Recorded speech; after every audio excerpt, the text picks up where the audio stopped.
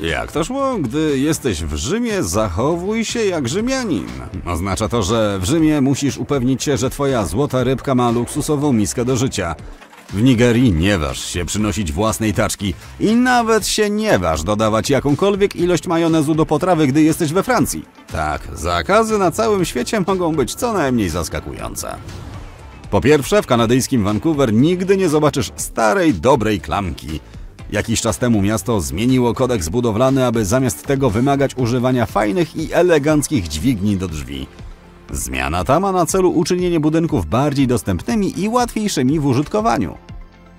Nie tylko nowe budynki przechodzą metamorfozę. Nawet historyczny ratusz w Vancouver zastąpił swoje fantazyjne klamki w stylu Art Deco błyszczącymi złotymi dźwigniami.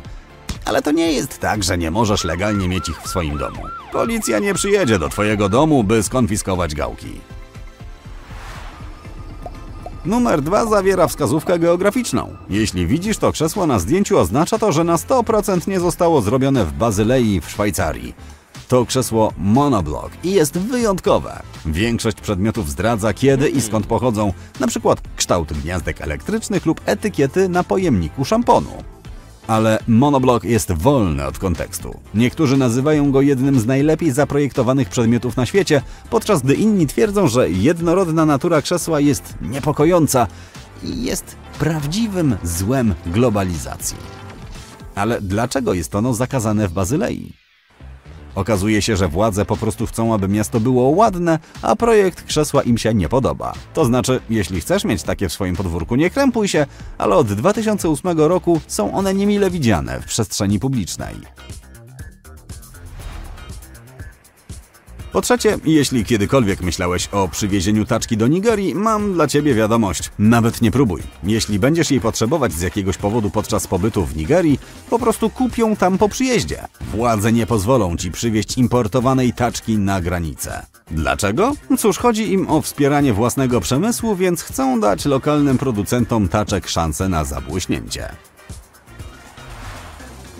Na czwartym miejscu mamy Chiny, gdzie władze postanowiły położyć kres podróżnym w czasie. Chwileczkę, to nie to co myślisz. Nie wynaleziono maszyny do podróży w czasie. Zakaz dotyczy programów telewizyjnych i filmów. Nawiasem mówiąc, nie jest to nic nowego. Prawo zostało wprowadzone na początku lat 2000. Najwyraźniej rządzący chcą zachować realizm i nie przepadają za zniekształcaniem wydarzeń historycznych. Mówią, że niektóre scenariusze stają się nieco zbyt szalone, wymyślają mity, promują przesądy i nie szanują przeszłości kraju.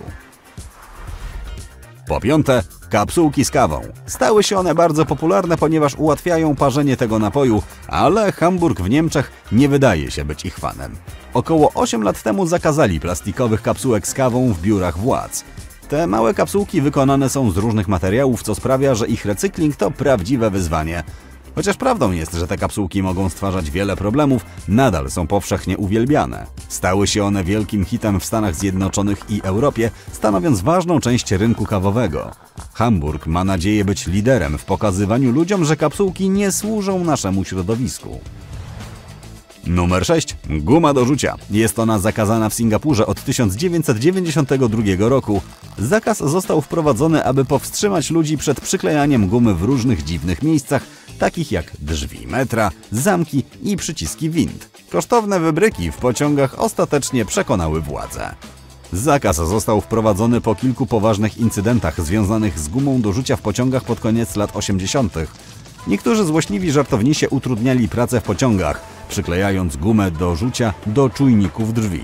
Doprowadziło to do kłopotliwej sytuacji i pogorszyło usługi kolejowe.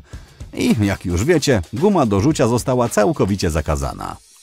Uwaga! Tak, istnieją gumy przepisywane pacjentom ze względów terapeutycznych lub stomatologicznych i są one nadal dozwolone. Ponadto nie zrozum tego całego zakazu źle. Rzucie gumy w Singapurze nie jest nielegalne, więc jeśli przyjeżdżasz tam jako turysta, możesz przywieźć trochę gumy do użytku osobistego. Po prostu nie przyklejaj jej pod tą ładną ławką w parku, dobrze? Importowanie i sprzedaż gumy do rzucia przysporzy ci jednak mnóstwo kłopotów. Islandia jest numerem 7 w naszej paradzie zakazów. W 1924 roku Reykjavik nie pozwalał na posiadanie psa. Nie dlatego, że wszyscy lubili koty. Chodziło o powstrzymanie rozprzestrzeniania się paskudnego tasiemca. Choroba była poważna i powodowała różnego rodzaju problemy zdrowotne. Ale nie martw się, psy są już dozwolone, o ile przestrzegają zasad. Obecnie w Reykjaviku wszystko kręci się wokół kotów. Są wszędzie, wędrują po ulicach, jakby były właścicielami tego miejsca. Nie można przejść dwóch kroków bez ujrzenia małego, futrzanego przyjaciela błagającego o uwagę. Kociaki z Reykjaviku są tak popularne, że mają nawet własną stronę na Facebooku. Ludzie je uwielbiają, a niektórzy nawet noszą przy sobie smakołyki na wypadek, gdyby natknęli się na przyjaznego kotka. A ponieważ na Islandii nie ma zbyt wielu bezpośrednich zagrożeń dla kotów, mają się tam dobrze. 8. Filipiny. To będzie troszkę dziwne. Śpiewanie My Way w barach karaoke jest w pewnym sensie zakazane w tym kraju.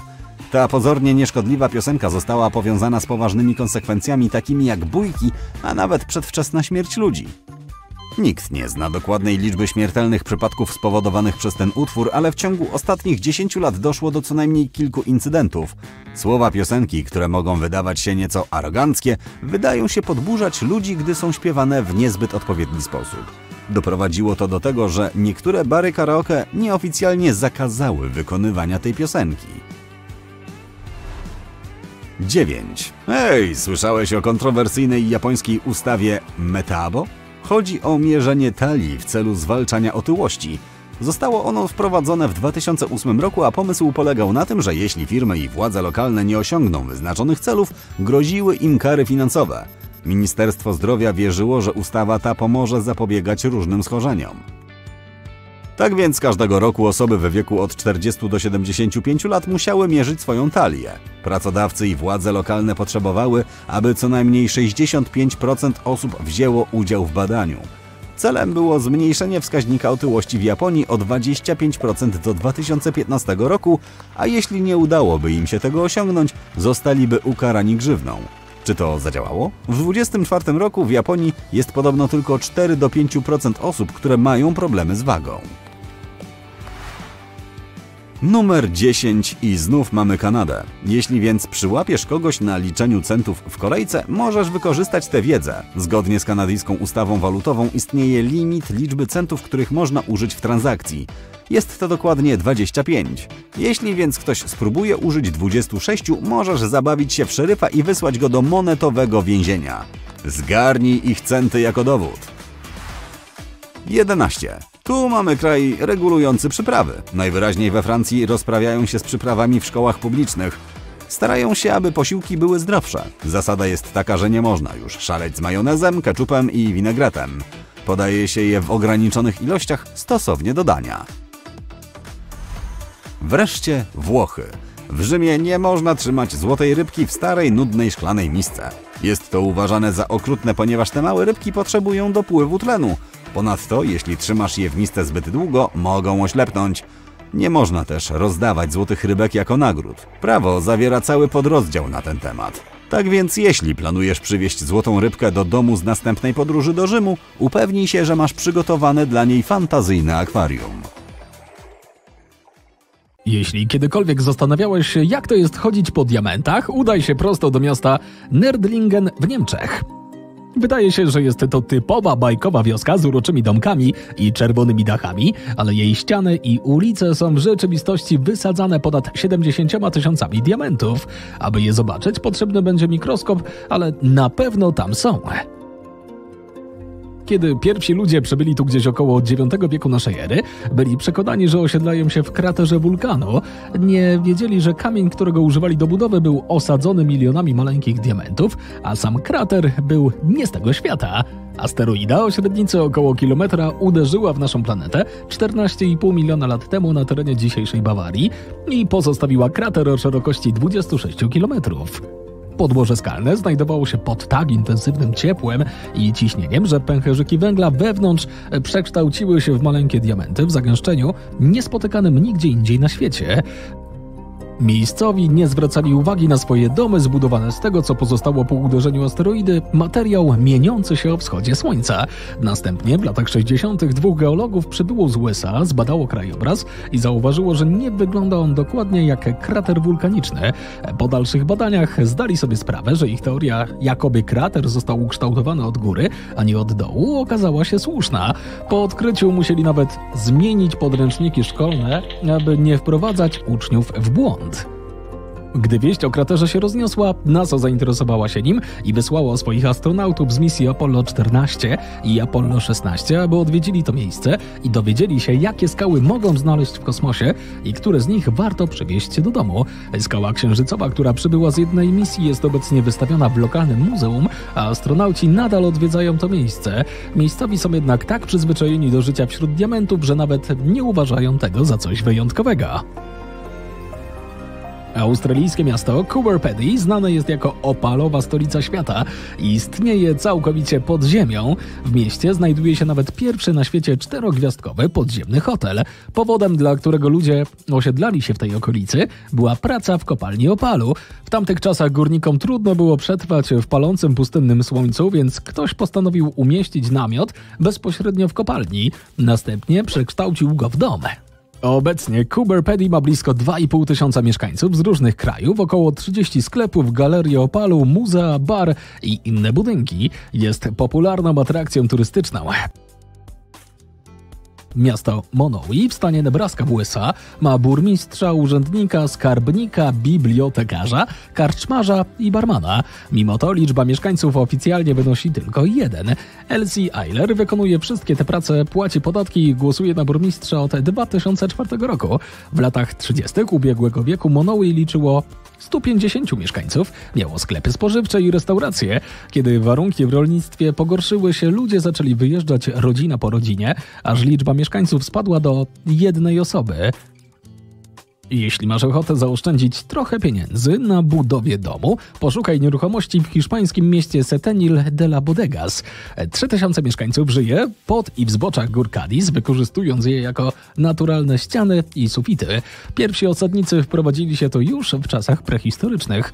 Skały utrzymują chłód w domach latem i ciepło zimą. Neft Dashlari w Azerbejdżanie został zbudowany jako platforma wiertnicza w 1940 roku bezpośrednio na Morzu Kaspijskim. Po odkryciu bogatych złóż ropy zaczęło się rozrastać i obecnie składa się z sieci platform, na których pracuje i mieszka około 5 tysięcy osób. W mieście znajdują się mieszkania, mosty, biblioteka, dom kultury, a nawet kino. Japońska wioska Nagoro ma nieoficjalną drugą nazwę Wioska Strachów na Wróble. Ostatnie dzieci urodziły się tu ponad 20 lat temu. Oficjalnie wioska liczy mniej niż 50 mieszkańców, ale nie jest tam pusto dzięki 350 ogromnym lalkom. Kiedy miejscowa kobieta wróciła tu w 2000 roku, aby zaopiekować się swoim starzejącym się ojcem, zobaczyła puste ulice, sklepy i szkoły. Aby to zmienić, ona i jej przyjaciele zaczęli tworzyć urocze lalki, które miały zastąpić mieszkańców.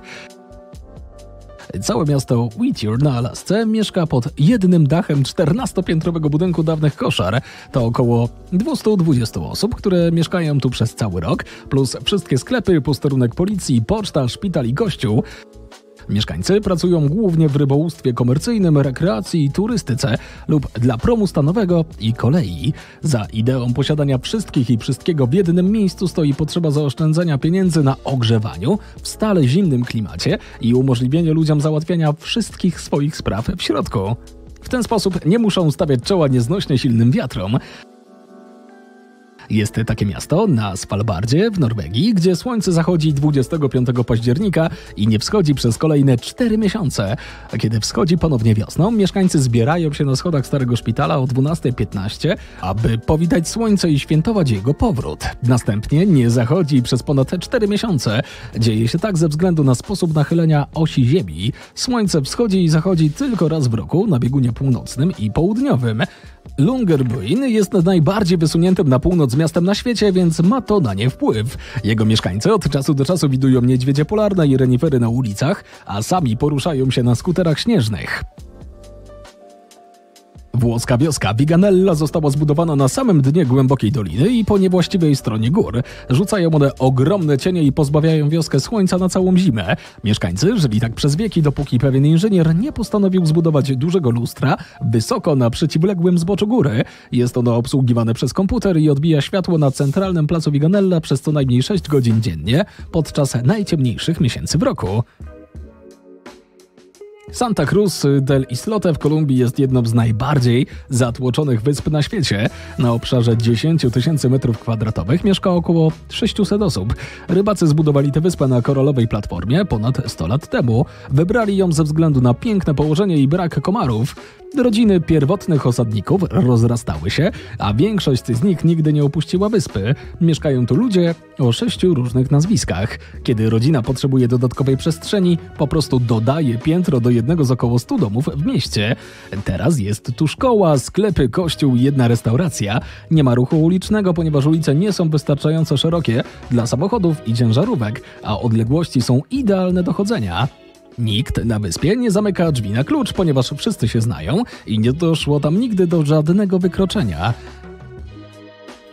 Innym miejscem, w którym ludzie nie zamykają drzwi na klucz jest wioska Shani Shingdapur w Indiach. W rzeczywistości lokalne domy, a nawet sklepy nie mają drzwi wejściowych, kluczy i zamków, ale mieszkańcy nigdy nie martwią się o swoje bezpieczeństwo. Wierzą, że ich wioska jest pod ochroną Lorda Shani, który ukaże każdego, kto spróbuje coś ukraść. Legenda głosi, że około 300 lat temu, po ulewnym deszczu i powodzi, mieszkańcy znaleźli ogromną skałę. Tej samej nocy Lord Shani pojawił się w snach głowy wioski i obiecał chronić ją, jeśli pozostawią skałę w takim stanie, jak jest. Bóstwo miało mieszkać na niej i nadzorować wioskę. Po otwarciu pierwszego banku w tej miejscowości dodano szklane wejście i ledwo widoczny zamek elektromagnetyczny z pilotem, aby uszanować tradycję. Jeśli szukasz najbardziej wyluzowanego miejsca na świecie, sprawdź The Villages na Florydzie. Nie możesz się tu przeprowadzić, jeśli w twoim domu nie ma co najmniej jednej osoby powyżej 55 roku życia. Musiałbyś też zostawić wszystkich członków rodziny, którzy nie ukończyli 19 roku życia. Najpopularniejszym środkiem transportu w The Villages jest wózek golfowy. Mieszkańcy mogą korzystać z wielu bezpłatnych rozrywek, więc nigdy nie jest tu nudno. Wszystko zaczęło się od Home Insurance Building, który wzniesiono w 1885 roku w Chicago. Choć zaledwie dziesięciopiętrowy, w tamtych czasach był rewolucją i zainicjował erę drapaczy chmur. Został zbudowany przy użyciu rewolucyjnej metody. Posiadał stalowy szkielet, dzięki czemu ściany były cieńsze, a cała konstrukcja wyższa niż kiedykolwiek. Jednak w 1931 roku został zburzony, a jego miejsce zajął stojący do dziś Bank of America. W tym samym roku ukończono budowę Empire State Building w Nowym Jorku, wieżowca dziesięciokrotnie wyższego niż Home Insurance Building. Oto miara postępu, jaki dokonał się w ciągu zaledwie 46 lat. Empire State stał się najwyższą konstrukcją na świecie i dzierżył ten tytuł przez 39 lat. Obecnie nowojorski wieżowiec zajmuje odległe 54 miejsce na liście najwyższych budynków świata. Ludzkość wspina się coraz wyżej. Rekordową budowlą od 13 lat jest Burj Khalifa, wieżowiec znajdujący się w Dubaju w Zjednoczonych Emiratach Arabskich. Ma 828 metrów wysokości, więcej niż dwa Empire State postawione jeden na drugim. Mimo, że idea drapaczy chmur narodziła się w Stanach Zjednoczonych, szczególną popularnością budynki tego typu cieszą się w Azji. Dla lepszego zobrazowania trendu wystarczy powiedzieć, że około 80% wszystkich wieżowców świata znajduje się właśnie na kontynencie azjatyckim, w sumie ponad 7,5 tysiąca. Krajem z największą ilością drapaczy chmur są Chiny, jest ich tam prawie 3000. Skąd to uwielbienie dla drapaczy chmur? Cóż, w Azji żyje najwięcej ludzi, a gospodarka wielu krajów szybko się rozwija. Wysokie konstrukcje pozwalają zapanować nad gęstymi populacjami miast. Ale pod względem liczby ludności Chinom dorównują Indie, a mimo to jest tam 10 razy mniej wieżowców, nieco ponad 200. Większość z nich zlokalizowana jest w Mumbai. Dlaczego Indie nie wznoszą drapaczy chmur, skoro to takie dobre rozwiązanie? Wszelkie budowy podlegają tam ścisłym regulacjom, a władze twierdzą, że dbają w ten sposób o zdrowie i bezpieczeństwo mieszkańców. Istnieje dość popularna teoria urbanistyczna, zgodnie z którą duże konstrukcje przeznaczone dla całych rzesz ludzi przyczyniają się do postępującej gęstości zaludnienia, większej anonimowości i spadającego poziomu bezpieczeństwa na danym terenie.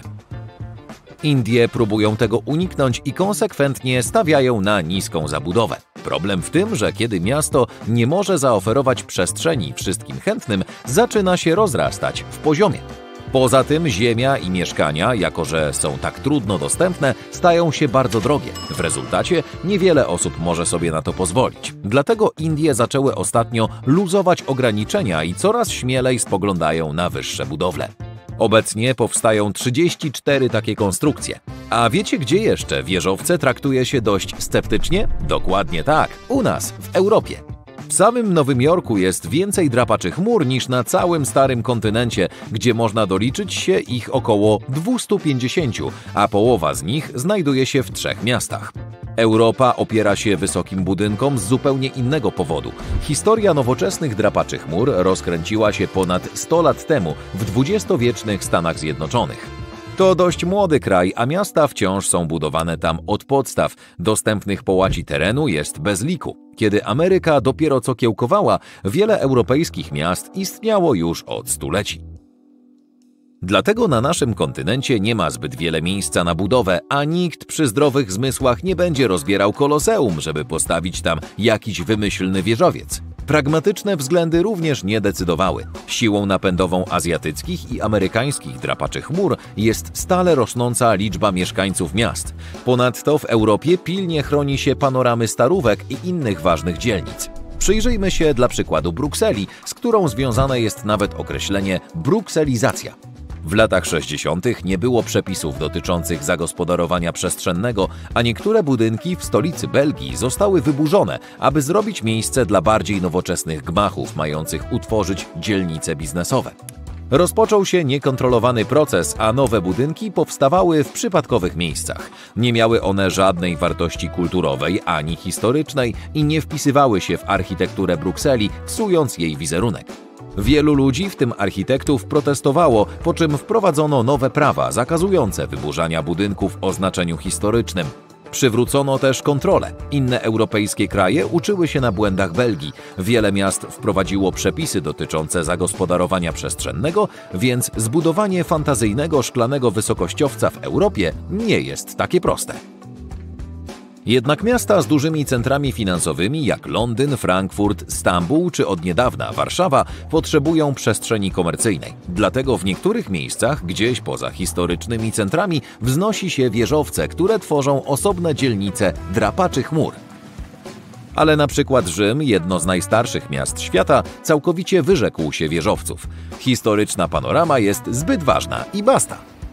A zauważyliście, że większość drapaczy chmur jest wykonana ze szkła? To nieprzypadkowy wybór. Powodów stawiania na taki, a nie inny materiał budulcowy jest kilka. Przede wszystkim szkło można formować w dowolny kształt. Wieżowiec nie musi być już tylko nudną pionową wieżą, jak wcześniej. Fantazyjnych budynków szybko przybywa. Poza tym szkło jest bardzo cienkim materiałem. Ściany są szczupłe, a dzięki temu wnętrza przestronniejsze. Czasy się zmieniły i od momentu powstania Home Insurance Building przestrzeni w środku jest znacznie więcej. Szkło jest również dość lekkie, co pozwala wznosić bardzo wysokie konstrukcje. Przezroczystość tego materiału zmniejsza zapotrzebowanie na oświetlenie elektryczne we wnętrzach. Dochodzi zatem walor ekonomiczny. Co więcej, szkło jest odporne na zmienną temperaturę i warunki atmosferyczne. I wreszcie, szklany budynek wygląda po prostu elegancko, oryginalnie i nowocześnie.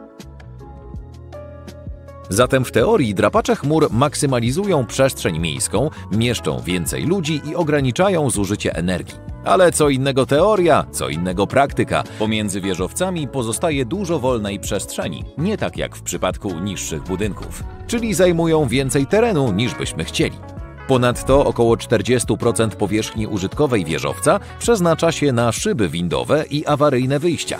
Na każdym dodatkowym piętrze jest mniej powierzchni do wykorzystania niż na poprzednim.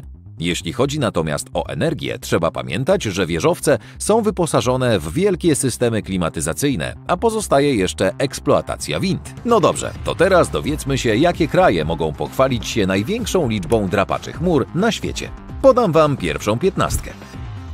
Na początek Panama, gdzie znajduje się 66 wieżowców. Numerem 14 jest Turcja z 67 budynkami tego typu. 13 miejsce przypada Singapurowi 95 wysokościowców. Dalej są Indie ze 112. Duża część z nich została zbudowana w ostatnich latach. Wykonali tam duży skok. Następnie Filipiny ze 122 drapaczami. Tajlandia otwiera pierwszą dziesiątkę, 125 wieżowców. Kanada ma jeden więcej. Ósme miejsce należy do Indonezji, gdzie góruje 129 wieżowców. W Australii jest ich 141, co daje jej siódme miejsce. Następnie Malezja i tu mówimy już o 266 drapaczach chmur. Japonia pokonuje ją o zaledwie 5 sztuk i otwiera pierwszą piątkę. Numer 4 to bez niespodzianki kolejny kraj azjatycki Korea Południowa z 276 wieżowcami. Zjednoczone Emiraty Arabskie okupują najniższy stopień podium z 314. Wszyscy wiemy, jakie kraje przodują w tej dziedzinie. Tak, drugie miejsce należy do kolebki drapaczy chmur Stanów Zjednoczonych. Jest ich tam aż 859. Duża różnica względem trzeciego miejsca, prawda? Ale ta jest jeszcze większa. Z 2976 wieżowcami wygrywają Chiny. Dziewięć krajów w pierwszej piętnastce to kraje azjatyckie, trzy z obu Ameryk, jeden z Bliskiego Wschodu, jeden z Europy plus Australia.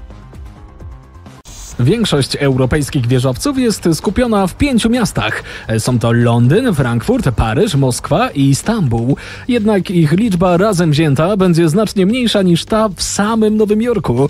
Aby budynek można było nazwać nowoczesnym wieżowcem, musi mieć co najmniej 150 metrów wysokości i od 40 do 50 kondygnacji. To po prostu piętro w danym budynku o przeciętnej wysokości nieco ponad 4 metrów, licząc od podłogi do sufitu. Gdybyście odwiedzili Stany tuż przed latami 70. XIX wieku, zobaczylibyście tylko jeden wieżowiec. The Home Insurance Building w Chicago był pierwszym na świecie wysokim budynkiem liczącym 10 pięter. Wow! Pierwsze wieżowce w Europie pojawiły się w Moskwie. Było to siedem sióstr, ale zbudowano je dopiero w połowie XX wieku. Z czasem w Ameryce Północnej zaczęto budować coraz więcej wieżowców ze względu na zbyt gęste zaludnienie. Każdy skrawek ziemi był na wagę złota. Krajobraz Nowego Jorku jest tak znany, że prawdopodobnie rozpoznalibyście go nawet jeśli nigdy tam nie byliście. Tak samo Paryż. Ale wyobraźcie sobie wieżę Eiffla otoczoną czy nawet zasłoniętą przez wieżowce. Na pewno pozbawiłyby ją uroku. Wieżowce znajdziecie w paryskiej dzielnicy La Défense, dzięki czemu nie psują romantycznej i turystycznej atmosfery miasta. W Londynie sprawy mają się nieco inaczej. Niektóre wieżowce zadziwiają nietypowymi kształtami. Jedną z takich konstrukcji jest Herkin. Gdybyście się zgubili w tym budynku, mielibyście nie lada kłopoty. Innym, ciekawie wyglądającym wieżowcem jest Dishard. Jeszcze inny pieszczotliwie nazywa się Tarkom do Sera. Oczywiście to nie są oficjalne nazwy, ale gdyby spojrzeć na ich kształt, wszystko nabiera sensu. Nie są one jednak kwestią przypadku. Chodzi o to, żeby wieżowce nie przysłaniały widoku na katedrę świętego Pawła. Swoją drogą jej szczyt jest widoczny nawet z kopca Henryka VIII, a to kawał drogi. W każdym razie są jeszcze inne charakterystyczne obiekty, jak na przykład Tower of London czy Pałac Westminsterski. Mają one swoje własne punkty widokowe. Aby nie zniszczyć krajobrazu Londynu, panuje zakaz stawiania budynków, które by je przysłoniły. Większość europejskich miast już istniała, gdy Stany Zjednoczone rozpoczęły konstrukcję swoich wieżowców. Z tego względu nie było w nich miejsca na wysokościowce. Na przestrzeni lat w Europie powstały miejscowości o równomiernym rozmieszczeniu budynków. Na przykład w Lizbonie znajduje się Park Edwarda VII, z którego rozpościera się widok na cały skwer oraz pobliską rzekę. Gdyby w okolicy nagle pojawiło się kilka budynków wysokich na 150 metrów, nie byłoby na co patrzeć. Nie moglibyście nacieszyć oczu widokiem na ikoniczną alejkę czy rzekę. Zamiast tego widzielibyście betonowe bloki. Podobnie do Lizbony, wiele innych europejskich miast nie chce stawiać wieżowców, które potencjalnie zniszczyłyby ich kulturowe dziedzictwo. Na przykład Niemcy. Większość niemieckich wieżowców stoi we Frankfurcie. Władze pozostałych miast wolą chronić i restaurować już istniejące budynki. Nawet jeśli w Berlinie miałyby powstać jakiekolwiek wieżowce, robotnicy nie byliby w stanie zbudować nawet jednego. Grunt im na to nie pozwoli. A nawet gdyby to się udało, budynek po krótkim czasie by się zawalił. Budowa fundamentów pod tak wysokie bloki w Berlinie jest bardzo kosztowna. Sama ziemia jest jednak zbyt piaszczysta i miękka. A gdyby na przekór dziedzictwu kulturowemu postawić kilka wieżowców w Pradze, najpierw należałoby zdemolować całą masę już istniejących budynków, co doprowadziłoby do masowych protestów mieszkańców, którzy byliby wściekli, że miasto, które znają i kochają, przestało istnieć. Bruksela eksperymentowała z czymś takim do pewnego stopnia. Powstał nawet termin opisujący to zjawisko. Brukselizacja. Krótko mówiąc, oznacza to brak refleksji nad miejscem powstania nowych wieżowców. Tu jest ok. Tam też może jeden wyrosnąć. Można by je nazwać brukselkami. Żartuję. W większości przypadków władze nie chcą, żeby nowe place budowy zmieniały historyczny wizerunek okolicy. Niektóre większe miasta mogłyby wziąć przykład z Francji i wydzielić odrębną dzielnicę przeznaczoną właśnie na budowę wieżowców. Burcz Khalifa, mierzący ponad 820 metrów wysokości, jest najwyższym budynkiem na świecie. Jego budowa nie należała do najłatwiejszych. Prace trwały 6 lat, ale okoliczni mieszkańcy mówią, że było warto. Budynek jest tak wysoki, że w korzystnych warunkach widać go z odległości niemal 100 kilometrów. Najwyższy budynek w Europie jest o połowę niższy. Łachtr Centr w Sankt Petersburgu mierzy około 460 metrów. Nasuwa się tylko jedno pytanie. Skoro wieżowce są tak wysokie, to jakim cudem wiatr ich nie powala? Odpowiedzią jest staranna konstrukcja od fundamentów aż po sam szczyt. Jako przykład weźmy Burj Khalifa. Ziemia, na której stoi, nie jest idealna. Pod ponad setką tysięcy ton betonowych fundamentów tego olbrzyma znajdują się 192 filary, które sięgają na głębokość około 50 metrów. Dzięki tarciu między betonem a ziemią filary te nie poruszają się, co czyni je solidnymi fundamentami, ale większość wieżowców powstaje na skalnym podłożu, które prawie w ogóle się nie porusza. Ich szkielety są stalowe. Gdyby spojrzeć na dowolny wieżowiec bez jego zewnętrznej struktury, naszym oczom ukazałaby się cała masa stalowych dźwigarów. Im wyższy budynek, tym silniejsze podmuchy wiatru w niego uderzają.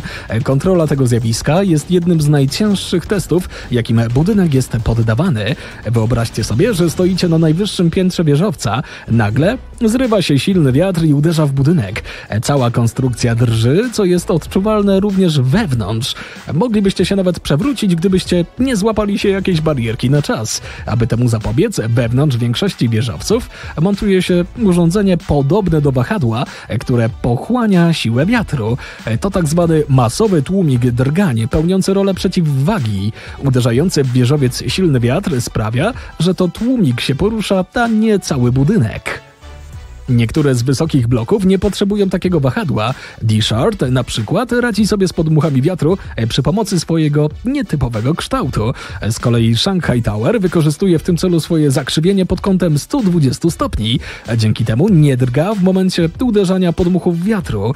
D-Shard w ogóle nie ma zamontowanego tłumika. Z kolei ten w Shanghai Tower służy jedynie jako atrakcja turystyczna. Zanim projekt wieżowca dobiegnie końca, zwykle poddaje się go testowi tunelu powietrznego, buduje się makietę miasta i testuje wraz z wysokim blokiem. Naukowcy włączają dmuchawy, które pełnią rolę warunków atmosferycznych. Jeśli makieta wieżowca ugnie się pod ciśnieniem testowych podmuchów, istnieją spore szanse na to, że po ukończeniu budowy wieżowiec również legnie w gruzach. Wiejące u szczytów budynków wiatry mogą być bardzo silne, dlatego zaczęto montować na nich turbiny powietrzne. W Bahrain World Trade Center są ich trzy i znajdują się pośrodku kompleksu, ale istnieją też inne budowle. Strata SE1 na przykład ma zamontowane turbiny na szczycie. Trzeba jeszcze wspomnieć o zjawisku zwanym efektem wiatru zstępującego. Są to silne podmuchy pojawiające się przy wieżowcach. Gdy taki wiatr uderza w wysokościowiec, jest on kierowany w górę wokół boków konstrukcji, a następnie otaczających ulic.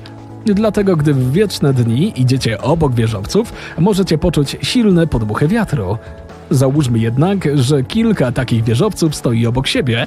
Niewykluczone, że rozprowadziłyby wiatr po ulicach, co mogłoby się przyczynić do powstawania mini huraganów w wyjątkowo wietrzne dni. W pewnym badaniu sprawdzono 100 najwyższych budynków, które decyzją właścicieli miały zostać rozebrane. Okazało się, że żywotność większości z nich wynosiła zaledwie 42 lata, a niektóre jednak mogą stać znacznie dłużej. Temple Court Building stoi po dziś dzień. Jest nieco niższy od innych wieżowców, ma raptem 45 metrów wysokości. Mimo to widział już ponad 100 zim. Pierwsze, co przychodzi na myśl, gdy mowa o rozbiórce budynku, to kurz, gruz i ogłuszający hałas, ale nie dotyczy to wszystkich wieżowców. Czasem rozbiórka odbywa się stopniowo, jedna kondygnacja po drugiej. Proces ten zaczyna się od szczytu wieżowca i kończy u samej podstawy. No i proszę, budynek powoli znika na waszych oczach. Czary mary! Każdy słyszał o niesławnym trójkącie bermudzkim, ale jest też mniej znany kuzyn, który może być jeszcze bardziej niepokojący. Trójkąt Bridgewater, znajdujący się w stanie Massachusetts, to niewielki, ale intensywny punkt aktywności paranormalnej. Kryptozoolog Loren Coleman ukuł ten termin w 1983 roku, opisując obszar o powierzchni 520 km2. Obejmuje on niesamowite punkty w Abington, Rehoboth i Freetown. W jego granicach znajdują się liczne miasta, w tym Bridgewater, od którego pochodzi nazwa trójkąta. Dla tych, którzy są dość odważni, dostępny jest nawet przewodnik opisujący najbardziej przerażające miejsca w regionie. Wycieczkę można rozpocząć od jaskini króla Filipa w Norton. Legenda głosi, że wódz Wampanoagów imieniem Metacomet, znany również jako król Filip, spędził tam czas podczas wielkiej rebelii przeciwko Brytyjczykom w XVI wieku. Dziś niektórzy twierdzą, że widzieli upiorne światła i słyszeli dźwięk bębnów w jaskini. Ale może nie lubicie polować na duchy? W takim razie przejdźmy do kolejnego punktu trójkąta Bridgewater. Bagna Hockomock. Ludzie utrzymują, że widzieli tam najróżniejsze rzeczy, od wielkiej stopy po gigantyczne ptaki i węże. Pojawiają się też pogłoski o widmowych ogniach i strasznych światłach, które nie dają spokoju. Chyba trwa tam jakaś paranormalna impreza. Jeśli chodzi natomiast o prawdziwe opowieści z dreszczykiem, nie wolno przegapić kamienia samotności. Schowany nad rzeką Nankatestet kryje w sobie historię sięgającą XIX stulecia. Lokalny pastor wyrył na kamieniu tajemniczy wiersz i z biegiem lat miejsce to stało się popularnym celem zarówno dla łowców duchów, jak i miłośników historii. Przenieśmy się na inny kontynent. Australijska posiadłość Monte Cristo z zewnątrz może wydawać się uroczym domem, ale pozory mylą. Za zamkniętymi drzwiami kryje się złowieszcza historia, która przysporzyła temu miejscu reputację najbardziej nawiedzonego domu na antypodach. Pierwotnie jego właścicielem był Christopher Crowley, który zbił fortunę na hotelu Railway w Juni. Mury Monte Cristo widziały mroczne wydarzenia. Rodzina Crowleyów mieszkała w późnowiktoriańskiej rezydencji położonej na szczycie wzgórza z widokiem na miasto. Tragedia zadobowiła się tam wraz ze śmiercią Christophera w 1910 roku i jego żony Elizabeth w 1933 roku. Po wyjeździe reszty rodziny w 1948 dom popadł w ruinę. Później rodzina Ryanów kupiła gospodarstwo i pracowała nad odrestaurowaniem posiadłości, aż w końcu odkryli, że nie są tam sami. Dziwne zdarzenia, na przykład nietypowe zachowanie zwierząt, tajemnicze światła i spotkania z upiornymi postaciami, nie pozostały bez wpływu na rodzinę, która uwierzyła, że dom jest nawiedzony. Legenda głosi, że co najmniej 10 duchów przemyka po korytarzach Monte Cristo. Dom między innymi nawiedzają małe dziecko, które zostało opuszczone przez piastunkę ze schodów, pokojówka, która spadła z balkonu, czy stajenny, który tragicznie zginął w pożarze. Najbardziej aktywnym duchem jest jednak syn nadzorcy, który był przykuty łańcuchem obok swojej zmarłej matki i trwał w tej pozycji przez cztery dekady. Obecnie dom funkcjonuje jako pensjonat ze śniadaniem, w którym organizuje się wycieczki z duchami i mroczną historią w tle, co odważniejsi goście faktycznie tam nocują. W uroczym miasteczku Saint Franceville, niedaleko Nowego Orleanu, mieści się zabytkowa rezydencja Myrtle Plantation. Jest tam 38-metrowa weranda i wielkie foyer ozdobione wspaniałym francuskim żyrandolem z kryształu. Posiadłość ma mroczną przeszłość, a w jej murach życie straciło 10 osób. W rezultacie pojawiły się liczne doniesienia o wizytach duchów, w tym niesławnej Chloe, widmowej postaci w charakterystycznym zielonym turbanie, która nawiedza gości w pokojach. Inne duchy, o których się mówi, to młoda dziewczyna zaglądająca przez okno, dziecko podskakujące na łóżkach, żołnierz kapłanka wudu i zjawa poprzedniego właściciela. Pomimo swojej reputacji najbardziej nawiedzonego domu w Ameryce, Myrtle's Plantation, podobnie jak posiadłość Monte Cristo, działa obecnie jako uroczy pensjonat z ponad 20 miejscami noclegowymi. Odwiedzający mogą poznać historię domu w ciągu dnia lub zdecydować się na bardziej popularną i mrożącą krew w żyłach wieczorną wycieczkę. Ponadto restauracja na terenie posiadłości oferuje gościom świeże potrawy z lokalnych produktów. Portorykańskim San Juan w 1824 roku wybudowano operę w stylu włoskim. Ma kształt podkowy i jest ważnym elementem krajobrazu kulturalnego miasta. Od grubo ponad wieku, pomimo pogłosek o zjawiskach paranormalnych, Teatro Tapia jest miejscem, które warto zobaczyć przede wszystkim ze względu na jego piękno architektoniczne. Według miejscowej legendy teatr jest nawiedzany przez dwie upiorne postacie. Jedną z nich jest kobieta w czerwonej sukni, która pojawia się w loży numer 105. Z kolei druga to aktorka, która tragicznie upadła na scenie w XIX wieku i podobno występuje dla niewidzialnej publiczności. Mówi się, że jej duch błąka się po teatrze od czasu do czasu, śpiewając na scenie i zatrzaskując drzwi za kulisami. Chociaż te upiorne opowieści trudno potwierdzić, dwustuletnia historia teatru pozostawia miejsce na spekulacje. Zamek Dobrej Nadziei jest najstarszym budynkiem w Republice Południowej Afryki, zbudowanym między 1666 a 1679 przez żołnierzy, marynarzy i pomocników. Głównym celem była ochrona mieszkających tam ludzi, ale jak na ironię jest to miejsce, które przeraża wszystkich odwiedzających. Wielu powie, że to tylko bujna wyobraźnia i nie ma nic paranormalnego w tym miejscu. Nie da się jednak zaprzeczyć, że ludzie słyszeli głosy i kroki w lochach. Ponadto czasem odzywa się dzwon w dzwonnicy. Ale to niemożliwe, ponieważ wieża została zamurowana kilka wieków temu. Ale po co są legendy? Mówi się, że pewien żołnierz targnął się tam na swoje życie i to pewnie jego duch daje głos. I tu robi się jeszcze bardziej niepokojąco. Jest tam upiorny czarny pies, który lubi straszyć ludzi, wysoki, błyszczący mężczyzna, który wyskakuje ze ścian, a nawet dama z XVIII wieku, która nadal przyjmuje ważnych gości.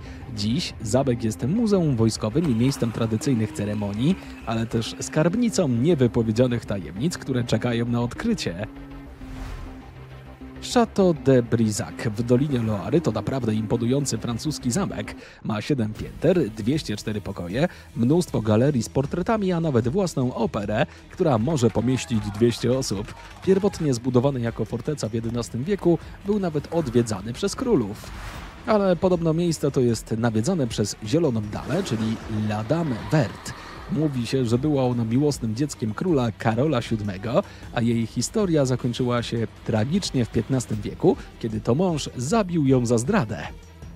Ludzie twierdzą, że widzieli jej upiorną postać w wieży kaplicy, ubraną w charakterystyczną zieloną sukienkę z przerażającymi pustymi oczami i brakującym nosem. Niektórzy twierdzą nawet, że słyszeli jej zawodzenie. Zamek został przekształcony w elegancki hotel, w którym organizowane są ciekawe wydarzenia, na przykład targi. Ale jeśli jesteście na tyle odważni, aby spędzić tam noc, pokoje są wspaniałe.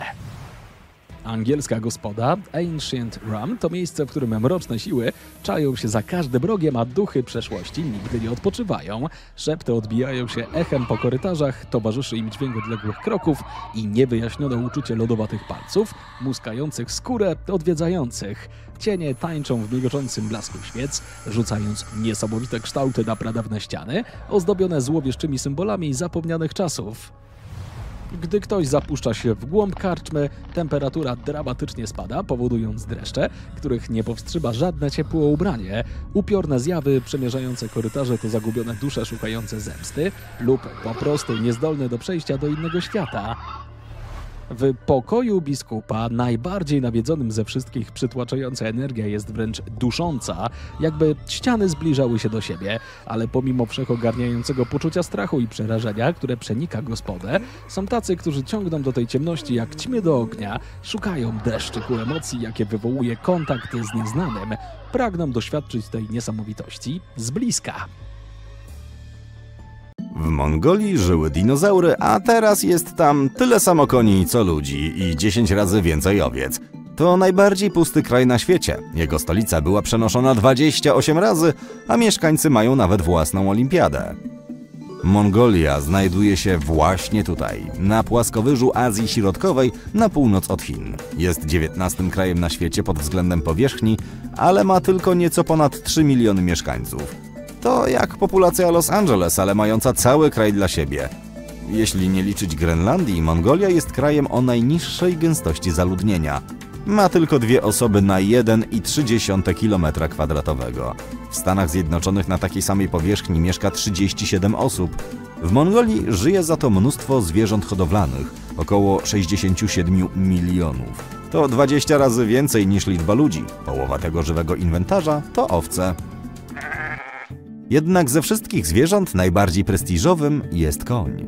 Istnieje tradycyjne powiedzenie: Mongoł bez konia jest jak ptak bez skrzydeł, które wiele wyjaśnia. Osoba posiadająca wiele koni jest uważana za zamożną. Nie wyobrażajcie sobie jednak ogromnych ranch z wielkimi stajniami wypełnionymi końmi. W Mongolii posiadanie stajni jest raczej wyjątkiem. Wędrują tam swobodnie na zewnątrz przez cały rok. Utrzymanie konia prawie nic nie kosztuje, ponieważ po prostu wędrują po łąkach i same znajdują pożywienie, a natura tego kraju zapewnia im wystarczającą ilość zieleni. Zima jest trudna, ponieważ wszystko jest pokryte śniegiem, ale konie potrafią oddzielić trawę od śniegu. Wczesną wiosną stają się słabe z powodu braku pożywienia, ale szybko wracają do zdrowia po zakończeniu zimy. Rodzina może mieć w swoim stadzie świętego konia. Nosi on niebieską chustę na szyi i prawie nigdy nie jest dosiadany. Tamtejsi ludzie kochają swoje konie, a ten związek sięga wieków wstecz. Stworzyli wiele pieśni, opowieści, mitów i dzieł sztuki przedstawiających konie. W języku mongolskim istnieje około 500 słów opisujących cechy koni i ponad 200 słów opisujących kolor i wzór ich sierści. Konie mają również znaczenie duchowe. Uważa się, że dusza konia pomaga jego właścicielowi, a także, że są transportem do nieba, dlatego często składano je w ofierze po śmierci właściciela. Oprócz zwierząt domowych w Mongolii żyje wiele zagrożonych gatunków. Ponadto niegdyś dinozaury wędrowały po tej ziemi. Właśnie tu znaleziono pierwsze w historii jajo dinozaura. Dziś ogromne gady oczywiście wyginęły, ale nadal można tu znaleźć pantery śnieżne, które również są rzadkością. Jeśli kiedykolwiek wybierzesz się do tego kraju, musisz być ostrożny. Pantery śnieżne są tak ciche, że nie usłyszysz, jak się do ciebie zbliżają. Nie wydają żadnych dźwięków podczas chodzenia. Wróćmy jednak do geografii. Klimat w Mongolii bywa surowy i nieprzewidywalny. W ciągu zaledwie jednego dnia temperatura może zmienić się o 16 stopni Celsjusza. Kraj nie ma dostępu do żadnych dużych zbiorników wodnych, dlatego jest bardzo suchy i nie pada tu zbyt wiele deszczu. Na południu Mongolii znajduje się część jednej z najzimniejszych pustyni na Ziemi pustyni Gobi. Tylko 5% jest pokryte piaskiem, reszta to gołe skały. Znajdują się tam rzeki, małe jeziora i łąki, ale także złoto, węgiel i miedź. Nie jest to więc typowa pustynia. Chmury deszczowe nie docierają tam z powodu pasma Himalajów, które utrzymują ten obszar w cieniu.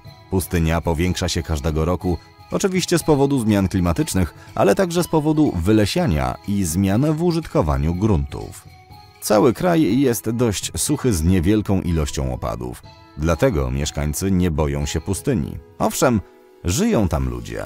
Są to nomadzi, którzy zajmują się hodowlą bydła.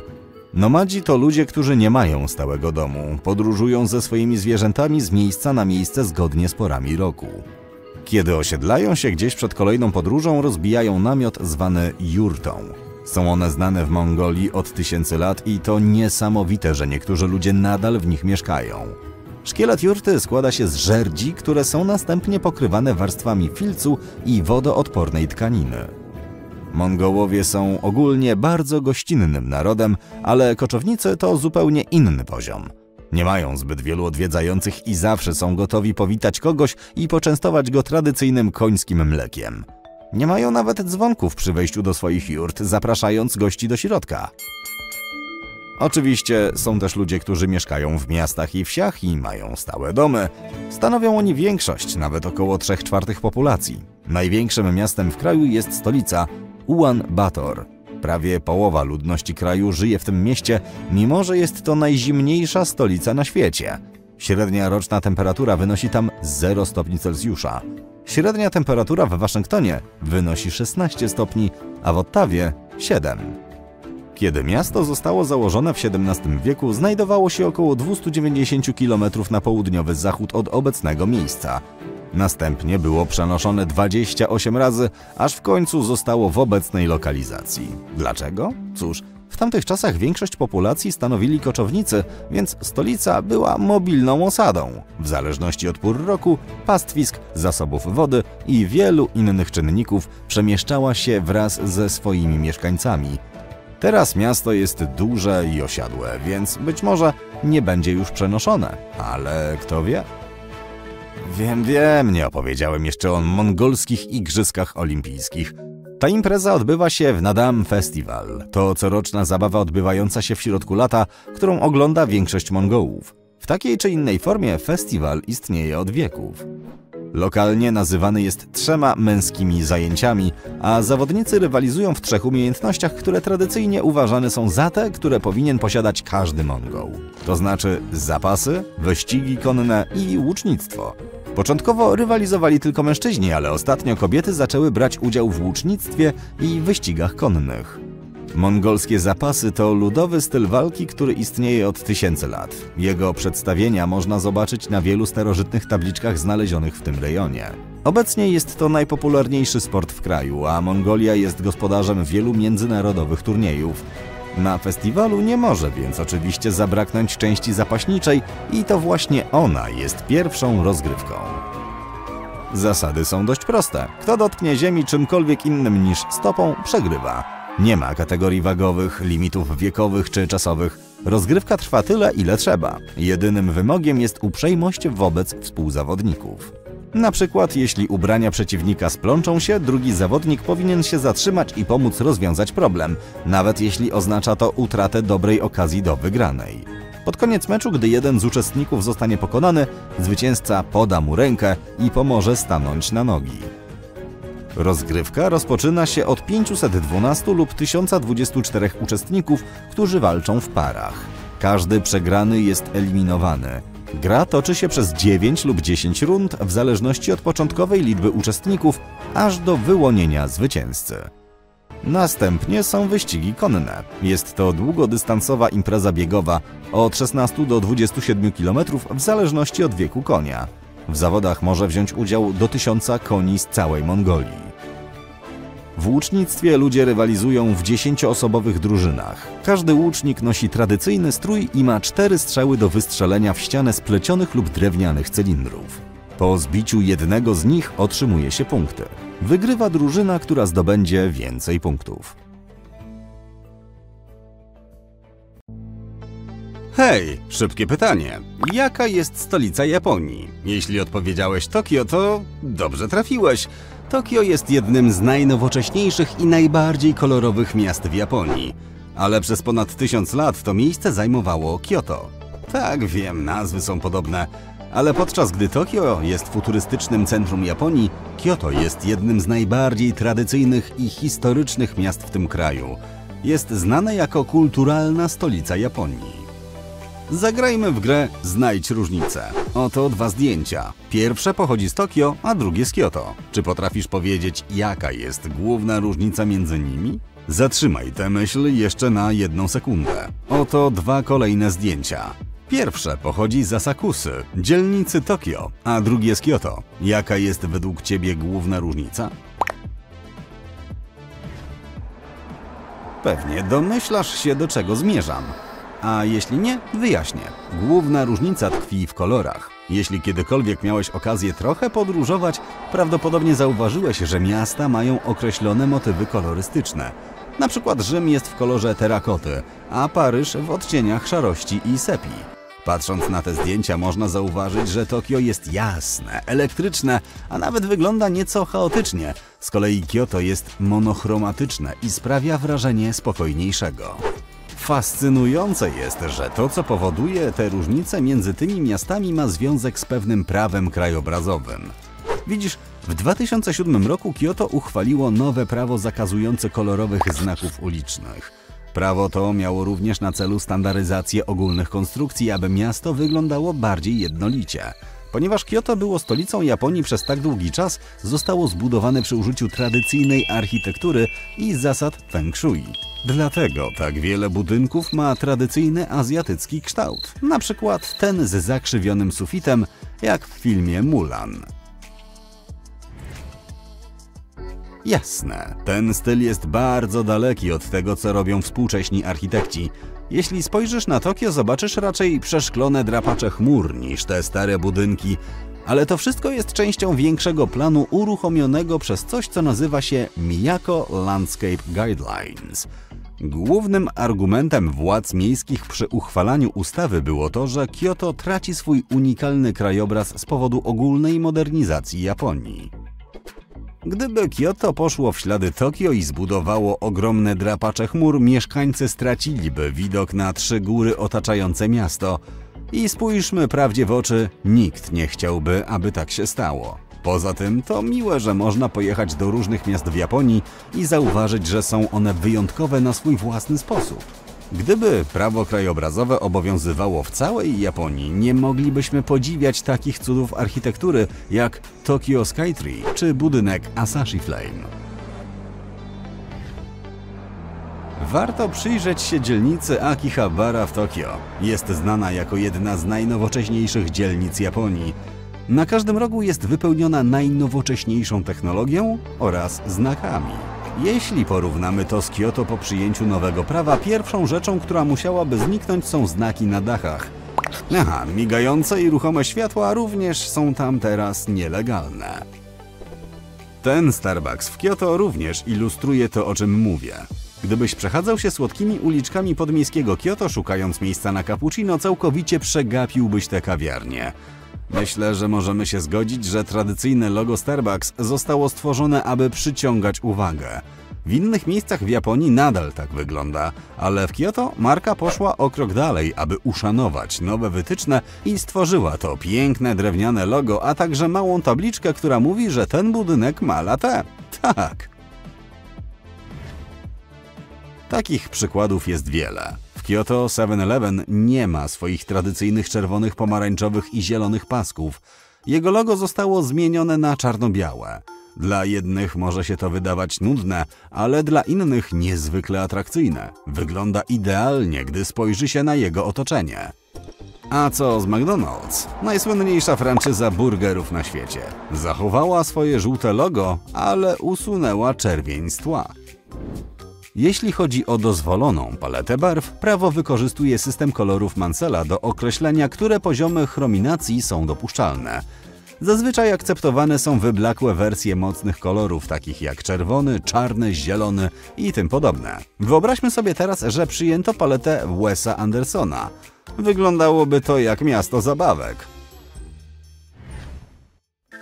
Początkowo sprzedawcy i właściciele sklepów czuli się zaniepokojeni nowym prawem.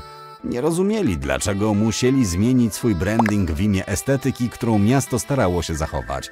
Z czasem jednak nie tylko pogodzili się z nowym prawem, ale dostrzegli już korzyści płynące z niego dla sukcesu ich marki. Pomogło to zmienić Kyoto w jeszcze większą atrakcję turystyczną. Turyści czują się jakby podróżowali w czasie. Niektórzy lubią nawet zakładać tradycyjne kimona i przechadzać się jak gejsze. Gmina uruchomiła również system nagród, aby wynagrodzić sklepy i marki, które dobrze wykonały swoją pracę domową. Oczywiście zakamuflowany Starbucks zdobył nagrodę w 2018, podobnie jak Sagawa, główna firma dostawcza w Japonii w 2012 roku. Nie tylko sklepy musiały dostosować się do nowych wytycznych. Takie elementy jak automaty i urzędy pocztowe również musiały zostać stonowane – Ponownie chodzi o to, aby miasto było bardziej spójne wizualnie i to z pewnością pomaga. A co się stanie, jeśli nie będziesz przestrzegać zasad? Cóż, ludzie, którzy zdecydują się zignorować prawo krajobrazowe, mogą spędzić do roku w więzieniu lub zapłacić ogromną grzywnę. Możemy również porównać różnice wewnątrz samego Kyoto. Wokół centrum prawo krajobrazowe jest mniej rygorystyczne. Można więc znaleźć wyższe budynki i jeszcze większe i bardziej kolorowe znaki. Jednak w miarę opuszczania centrum i przemieszczania się w kierunku mniejszych miejscowości robi się znacznie bardziej rygorystyczne. Jest ono szczególnie surowe w pobliżu miejsc wpisanych na listę dziedzictwa UNESCO. W Kyoto znajduje się 17 obiektów dziedzictwa kulturowego. Tak, to dużo, ale to właśnie sprawia, że jest tak wyjątkowe. A teraz witamy w dzielnicę Pauntolchow. Ten obszar jest przykładem tego, jak prawo krajobrazowe zmieniło klimat miasta na przestrzeni lat.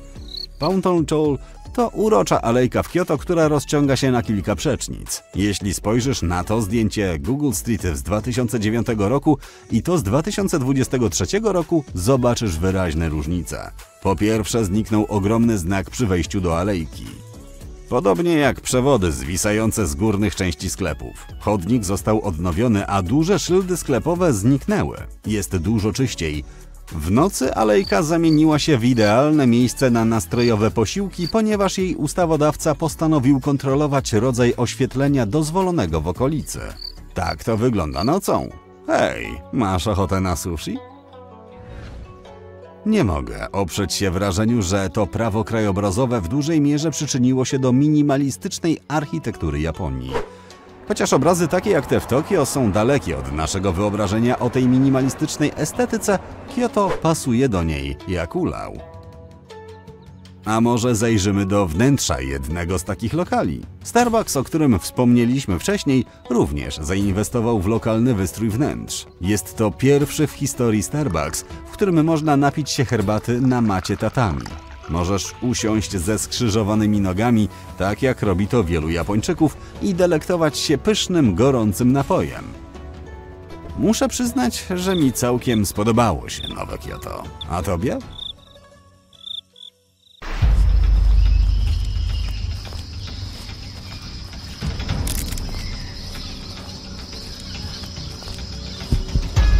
W indyjskim stanie Meghalaya powszechnym widokiem są mosty tworzone z korzeni drzew. Korzeniom pozwala się rosnąć w jednym kierunku i po latach powstaje niewiarygodna konstrukcja zdolna utrzymać ponad 50 osób. Mistrzami w kultywowaniu żywych mostów są grupy etniczne Khasi oraz Jaintia. Górzysty stan Meghalaya usiany jest rzekami i strumieniami, więc mosty korzeniowe spełniają istotną funkcję. Niektóre z nich mają ponad 180 lat. Korzenie rosną wzdłuż wydrążonych pni palmy, aż sięgną przeciwległego brzegu. Proces ten trwa od 10 do 15 lat. Przez ten czas korzenie owijają się wokół siebie, dzięki czemu cała konstrukcja jest niezwykle wytrzymała. Najdłuższe z mostów mają ponad 30 metrów długości. W pełni wyhodowany most może przetrwać nawet 500 lat, ponieważ w miejsce gnijących korzeni stale wyrastają nowe. Jedną z atrakcji kalifornijskiego Parku Narodowego Doliny Śmierci jest wyschnięte słone jezioro Racetrack Playa, a konkretnie znajdujące się tam kamienie, które zdają się wędrować same z siebie. Kamienie, a w zasadzie głazy ważące do 300 kg, zostawiają po sobie ślady w postaci ścieżek, mających nawet 300 metrów długości. Fenomen ten przez lata zdumiewał i fascynował naukowców. Powstało kilka hipotez wyjaśniających wędrówkę kamieni, a najbardziej prawdopodobna ma związek z płatami lodu. W porze deszczowej woda spływa ze zboczy i tworzy na dnie jeziora warstwę na tyle głęboką, aby umożliwić powstanie pływającej warstwy lodu, a jednocześnie na tyle płytką, że nie zakrywa kamieni. W zimowe noce powierzchnia tymczasowego zbiornika zamarza, natomiast za dnia pod wpływem słońca lód pęka, tworząc pływające płaty. Wiatr wprawia te płaty w ruch, a na wpół zanurzone kamienie orają dno i stąd tajemnicze ścieżki. Wulkany kojarzymy zwykle ze spływającą po zboczach lawą, ale czasami nad kraterem widać również błyskawice. Gwałtowna erupcja uwalnia m.in. masy pyłu, czyli maleńkich fragmentów skał. Kolizje cząstek pyłu doprowadzają do tarć, podczas których powstaje ładunek elektryczny. Ognisty wir to zatrważający, a jednocześnie oszałamiający widok. To rzadkie zjawisko atmosferyczne tworzy się, gdy bardzo silny wiatr uderza w istniejący pożar i unosi go w postaci kolumny ognia. W Stanach Zjednoczonych ogniste tornado można zaobserwować mniej więcej raz do roku. Taka kolumna ognia może mieć ponad 300 metrów. Jeszcze rzadszym naturalnym zjawiskiem jest księżycowa tęcza. Nazwa nie wymaga wyjaśnień. Jest to tęcza wokół księżyca, jednak do jej powstania musi zbiec się w czasie kilka czynników. Księżyc blisko Ziemi, świecący wyjątkowo jasno, ciemna, bezgwiezdna noc, no i oczywiście kropelki wody w powietrzu i to pod odpowiednim kątem. Podobnie jak zwykła tęcza, ta też powstaje w wyniku załamania światła na kroplach wody. Kolory nie są tak wyraźne i ostre jak w przypadku zwykłej tęczy, gdyż księżyc sam nie wytwarza światła, a jedynie odbija światło słoneczne. Jarząca się neonowo plaża to nie obca planeta na filmie science fiction, a jak najbardziej ziemski pejzaż. Takie fantastyczne miejsca można znaleźć na całym świecie, od Malediwów po Porto Źródłem spektakularnej poświaty są glony żyjące pod powierzchnią wody. Gdy prądy morskie wprawiają je w ruch, glony, a wraz z nimi całe plaże zaczynają jarzyć się na niebiesko, zielono albo na czerwono. W lasach zachodniej części Australii można natrafić na jeziora o barwie intensywnego różu. Choć na pierwszy rzut oka woda wygląda sztucznie i niezdrowo, jest w rzeczywistości całkiem bezpieczna. To doskonały materiał na instagramową fotkę, a kąpiel w różowym jeziorze to w dodatku bardzo relaksujące doznanie. Zupełnie jak w Morzu Martwym, ze względu na wysokie stężenie soli, nawet nie potrafiący pływać człowiek unosi się na powierzchni.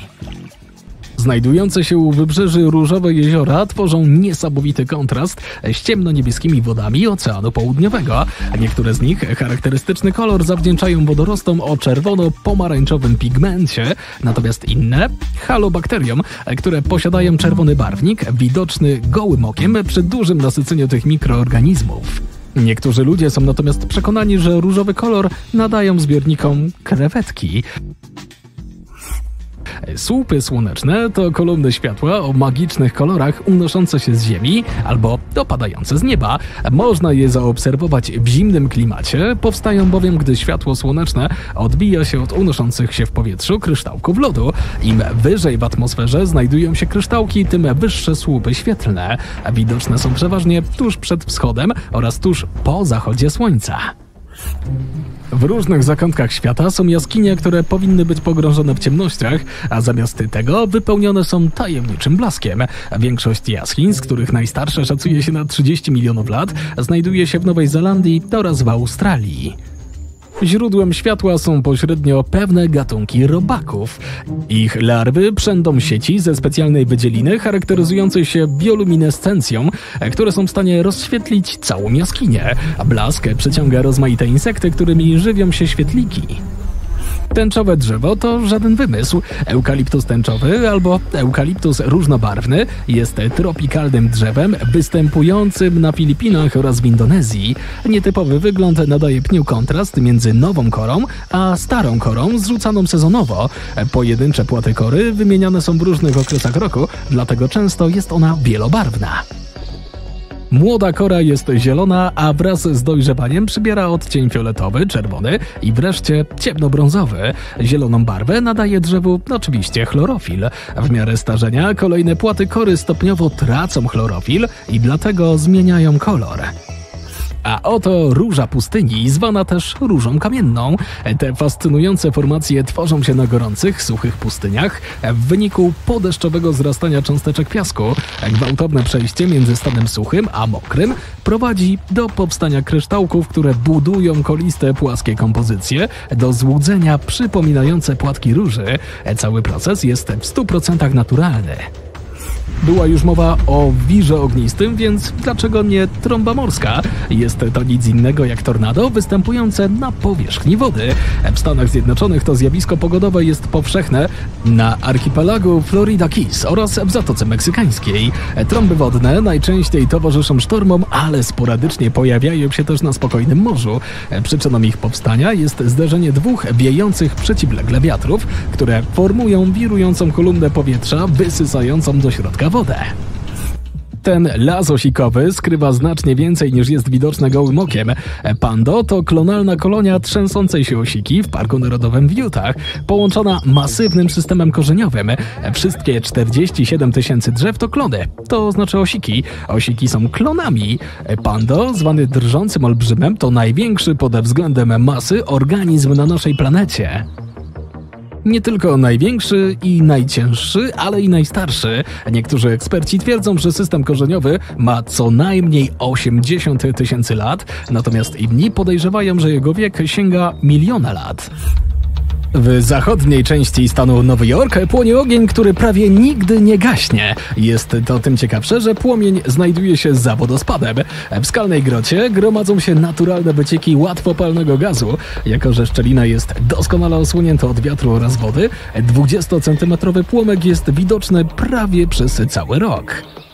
Jest wiele gatunków zwierząt, które wspinają się po drzewach. Małpki, leniwce, koale oraz rzecz jasna kozy. Zaraz, jak to kozy? Kozy w Maroku zwinnie wspinają się na drzewa arganowe, by zjadać ich liście i owoce. Na nietypowym zwyczaju korzystają również miejscowi rolnicy, którzy zbierają nadtrawione i wydalone przez kozy pestki owoców, które normalnie niezwykle ciężko jest otworzyć. Pestki te są cenione w medycynie oraz w przemyśle kosmetycznym. Z pieczonych, zmielonych, a następnie tłoczonych na zimno pestek produkuje się olej arganowy, który korzystnie działa na włosy i jest niezwykle drogi. Marokańskie kozy zapewniają rolnikom tanie źródło cennego oleju. Zobaczcie, co znaleźliśmy w Japonii. Te indywidualne kapsuły do spania w kształcie jajka pozwalają na nocną podróż autobusem bez, jakby to powiedzieć, wychodzenia z własnej skorupy. Idealny wybór dla introwertyków. Tokijska firma autobusowa Wheeler Express wprowadziła te kapsuły w 2020 roku. Każdy autobus ma 18 przestronnych, odchylanych foteli z podpórkami na stopy i szyję, ze składanym stolikiem oraz uchwytami na kubki, torby i smartfony. No i oczywiście z kocykiem. Ale co najważniejsze, każda kapsuła jest wyposażona w gniazdka elektryczne, dzięki którym można naładować wszelkie niezbędne gadżety. W jednym rzędzie znajdują się trzy takie miejsca. Nie możecie się doczekać, by przetestować te kapsuły? Można je zarezerwować w należących do firmy Wheeler autobusach Reborn. Cena biletu zaczyna się od około 100 dolarów. A skoro już jesteśmy w Japonii, nie zdziwcie się, gdy zobaczycie takie urządzenie w jednej z restauracji typu fast food. Jest wmontowane w umywalkę i służy do dezynfekcji smartfona w trakcie, gdy wy myjecie ręce. System o nazwie Wash został opracowany przez japońską firmę Wota. Wszystko, co musicie zrobić, to wsunąć telefon do tego małego otworu. Zniknie tam na chwilę, trochę jak gotówka we wpłatomacie. Ale w przeciwieństwie do pieniędzy, wasz telefon wróci do was bezpieczny i czysty w ciągu zaledwie 30 sekund. Tylko nie zapomnijcie go wyjąć. Ale nawet jeśli zostawilibyście telefon w restauracyjnej łazience, jest duża szansa, że nikt go nie ukradnie. Japonia słynie z bardzo niskiego poziomu przestępczości. Jedna z użytkowniczek Reddita zamieściła historię, która może być tego dowodem. Oto zdjęcie jej torby z zakupami zostawionej na ulicy w Osace. Kiedy później tego samego dnia kobieta wróciła, aby jej poszukać, zobaczyła, że torba leży obok drzewa, nietknięta. Najwyraźniej ktoś ostrożnie położył ją tam, aby właściciel mógł odebrać zgubione rzeczy. Czyż to nie urocze? Kolejną fascynującą rzeczą, którą można znaleźć w Japonii, są kręcone schody ruchome. Japońska firma Mitsubishi wciąż pozostaje jedynym na świecie producentem takich spiralnych schodów. Te są zainstalowane przy frontowym wejściu do Mitsubishi Electric Inazawa Works. Spiralnie ułożone stopnie płynnie wędrują w górę i w dół, podczas gdy stojący na nich ludzie podziwiają panoramiczny widok. Niełatwo jednak trafić na podobne schody. Na całym świecie jest ich zaledwie 91. Czy potraficie odgadnąć, co to za kraj, patrząc tylko na to zdjęcie? Oczywiście, że Australia. To zabawne ujęcie zostało wykonane na polu namiotowym. Zastanawiam się tylko, jak ten kangur zamierza wydostać się z toalety. Widzicie, z kangurami jest taka dziwna sprawa, że te zwierzęta nie są w stanie poruszać się do tyłu ze względu na długie stopy i duży ogon. To jest jeden z powodów, dla których kangur i emu widnieją na herbie Australii. Żadne z tych zwierząt nie potrafi zbyt łatwo się cofać, dlatego zostały symbolami narodu, który zawsze idzie do przodu. A tak wyglądają tasmańskie cytryny. Nie, w rzeczywistości nie rosną bez skórki. To sprawka miejscowych oposów. Nawet nie zawracały sobie głowy zrywaniem owoców z drzewa. Jeden z internautów przyłapał w swoim ogrodzie te zwierzaki i zauważył, że lubią tylko skórkę i liście cytryn. To się całkiem dobrze składa, ponieważ ludzie zazwyczaj zjadają tylko środek tego owocu. A skoro spacerujemy po lesie, to uważajcie na pająki Hansmana, bo one uwielbiają zalesione tereny. Dorosłe pająki tego gatunku mają rozpiętość nóg nawet do 15 cm. Należą do rodziny spachaczowatych. Angielska nazwa, pająk myśliwy, nawiązuje do ich szybkości i sposobu polowania.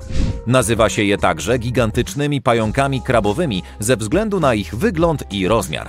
Chociaż pająki Hansmana są jadowite i ich ukąszenia mogą być bolesne dla ludzi, zazwyczaj ugryzione osoby nie wymagają leczenia szpitalnego. Czy odgadniecie, w jakim kraju zrobiono to zdjęcie termometru? Oczywiście, to znowu Australia. Najwyższa temperatura, jaką kiedykolwiek odnotowano w tym kraju, wynosiła 51 stopni Celsjusza. Ale to nie jest wcale rekord świata. Najgorętszy dzień w historii miał miejsce w 1913 roku w Kalifornii. Temperatura osiągnęła tam wówczas 57 stopni. A oto kolejna autobusowa ciekawostka dla introwertyków. Niektóre autobusy miejskie w Finlandii mają przycisk z kciukiem uniesionym w górę, aby pasażer mógł podziękować kierowcy przy wychodzeniu. Szkoda, że nie ma przycisku z kciukiem w dół dla równowagi. No bo co w wypadku, gdy jazda wcale nie była taka miła? A co powiecie na przejażdżkę na diabelskim młynie? W Finlandii można to zrobić w gondoli z sauną. Pierwsza na świecie Sky Sauna rozpoczęła działalność w 2016 roku. Od tego czasu cieszy się ogromnym powodzeniem wśród mieszkańców i turystów. Niewielka jednoosobowa gondola pozwala cieszyć się ciepłem prawdziwej sauny podczas jazdy 40 metrów nad ziemią z widokiem na zachwycającą panoramę Helsinek. Po wyjściu z sauny można zrelaksować się w jacuzzi, a następnie wziąć prysznic. Oczywiście pomysłodawcy tego projektu musieli wykazać się kreatywnością, jeśli chodzi o źródła zasilania w gondoli. Udało im się wymyśleć niestandardowy grzejnik elektryczny, który zapewnia stały dopływ ciepła. Czy wiecie, że pizza z kebabem to narodowa potrawa w Szwecji? O dziwo, jest to jedno z najpopularniejszych dań typu fast food w tym kraju. Pizza jest pokryta mięsem z kebabu i innymi składnikami, takimi jak sos pomidorowy, ser, cebula, papryka i sos do kebabu. Składniki mogą się różnić w zależności od restauracji, ale ogólnie rzecz biorąc, ten posiłek łączy w sobie kuchnię włoską i turecką. Został wymyślony przez mieszkających w Szwecji imigrantów z Bliskiego Wschodu. Nie wiadomo jednak konkretnie, kto i kiedy po raz pierwszy stworzył to danie. Uważa się jednak, że pojawiło się w latach 80., kiedy w całej Szwecji zaczęto otwierać restauracje serwujące kebab i falafel. W niektórych regionach największą popularnością cieszyły się lokale oferujące zarówno pizzę, jak i kebab. W pewnym momencie ktoś wpadł na genialny pomysł, aby wymieszać to wszystko w jednym obrzydliwie pysznym daniu. A oto kolejny dziwny narodowy przysmak fermentowany rekin, czyli hakarl. Jest to tradycyjna potrawa na Islandii. Wiele osób zastanawia się, dlaczego Islandczycy jedzą zepsute mięso. Cóż, powód jest bardzo prosty. Świeże mięso rekina polarnego jest trujące. Proces fermentacji jest dość długi i skomplikowany, ale umożliwia usunięcie z mięsa wszystkich szkodliwych substancji. Tradycyjna metoda polega na umieszczeniu rekina w płytkim dole wykopanym w drobnym żwirze. Następnie rekin jest przykrywany piaskiem i kamieniami, aby wycisnąć płyny z tkanek. Proces fermentacji trwa od 6 do 12 tygodni w zależności od pory roku. Sfermentowane mięso kroi się i suszy przez kilka miesięcy, a po tym czasie wystarczy usunąć brązową skórkę i pokroić tłustą pastę z rekina na małe kawałki. Smacznego! Peru znajduje się najwyższa wydma piaskowa na naszej planecie Cerro Blanco. Znajduje się na pustyni Nazca w południowo-zachodnim Peru. Czasem nazywa się ją pustynnym Everestem. Ma ponad 1200 metrów od podstawy do szczytu i wygląda naprawdę imponująco. Wydma znajduje się w pobliżu innego interesującego miejsca, tzw. rysunków z Nazca. Znajdująca się w południowym Peru grupa geoglifów została wyryta w pustynnych piaskach. Geoglify to w zasadzie wieloskalowe rysunki wykonane poprzez usunięcie zewnętrznej warstwy gruntu. Przypuszcza się, że ich twórcy wykorzystywali je do obliczeń astronomicznych. Rysunki z Nazca znajdują się na obszarze prawie 500 km2. Można tam naliczyć aż 70 wizerunków zwierząt i roślin, a także ponad 300 figur geometrycznych. Niektóre z nich mają ponad 360 metrów długości, dlatego figury te są najlepiej widoczne z powietrza lub pobliskich wzgórz. Naukowcy uważają, że rysunki zostały stworzone przez lud Nazca, który żył w tych rejonach od 1 do 700 roku naszej ery. A skoro mówimy o pustyniach i efektownych fotkach na Instagrama, zobaczcie tę ciekawostkę. To nie jest prehistoryczny gigant, to rzeźba o nazwie Mano de Desierto, czyli ręka pustyni. Stoi na środku pustyni Atacama w Chile. Gigantyczna ręka sięgająca nieba ma podstawę z żelaza i betonu, jest wysoka na 11 metrów i znajduje się około 1100 metrów nad poziomem morza. Jest to dzieło chilijskiego rzeźbiarza Mario Irachazabała z 1992 roku. Symbolizuje kruchość ludzkiej duszy i jej drogę przez przeciwności do gwiazd.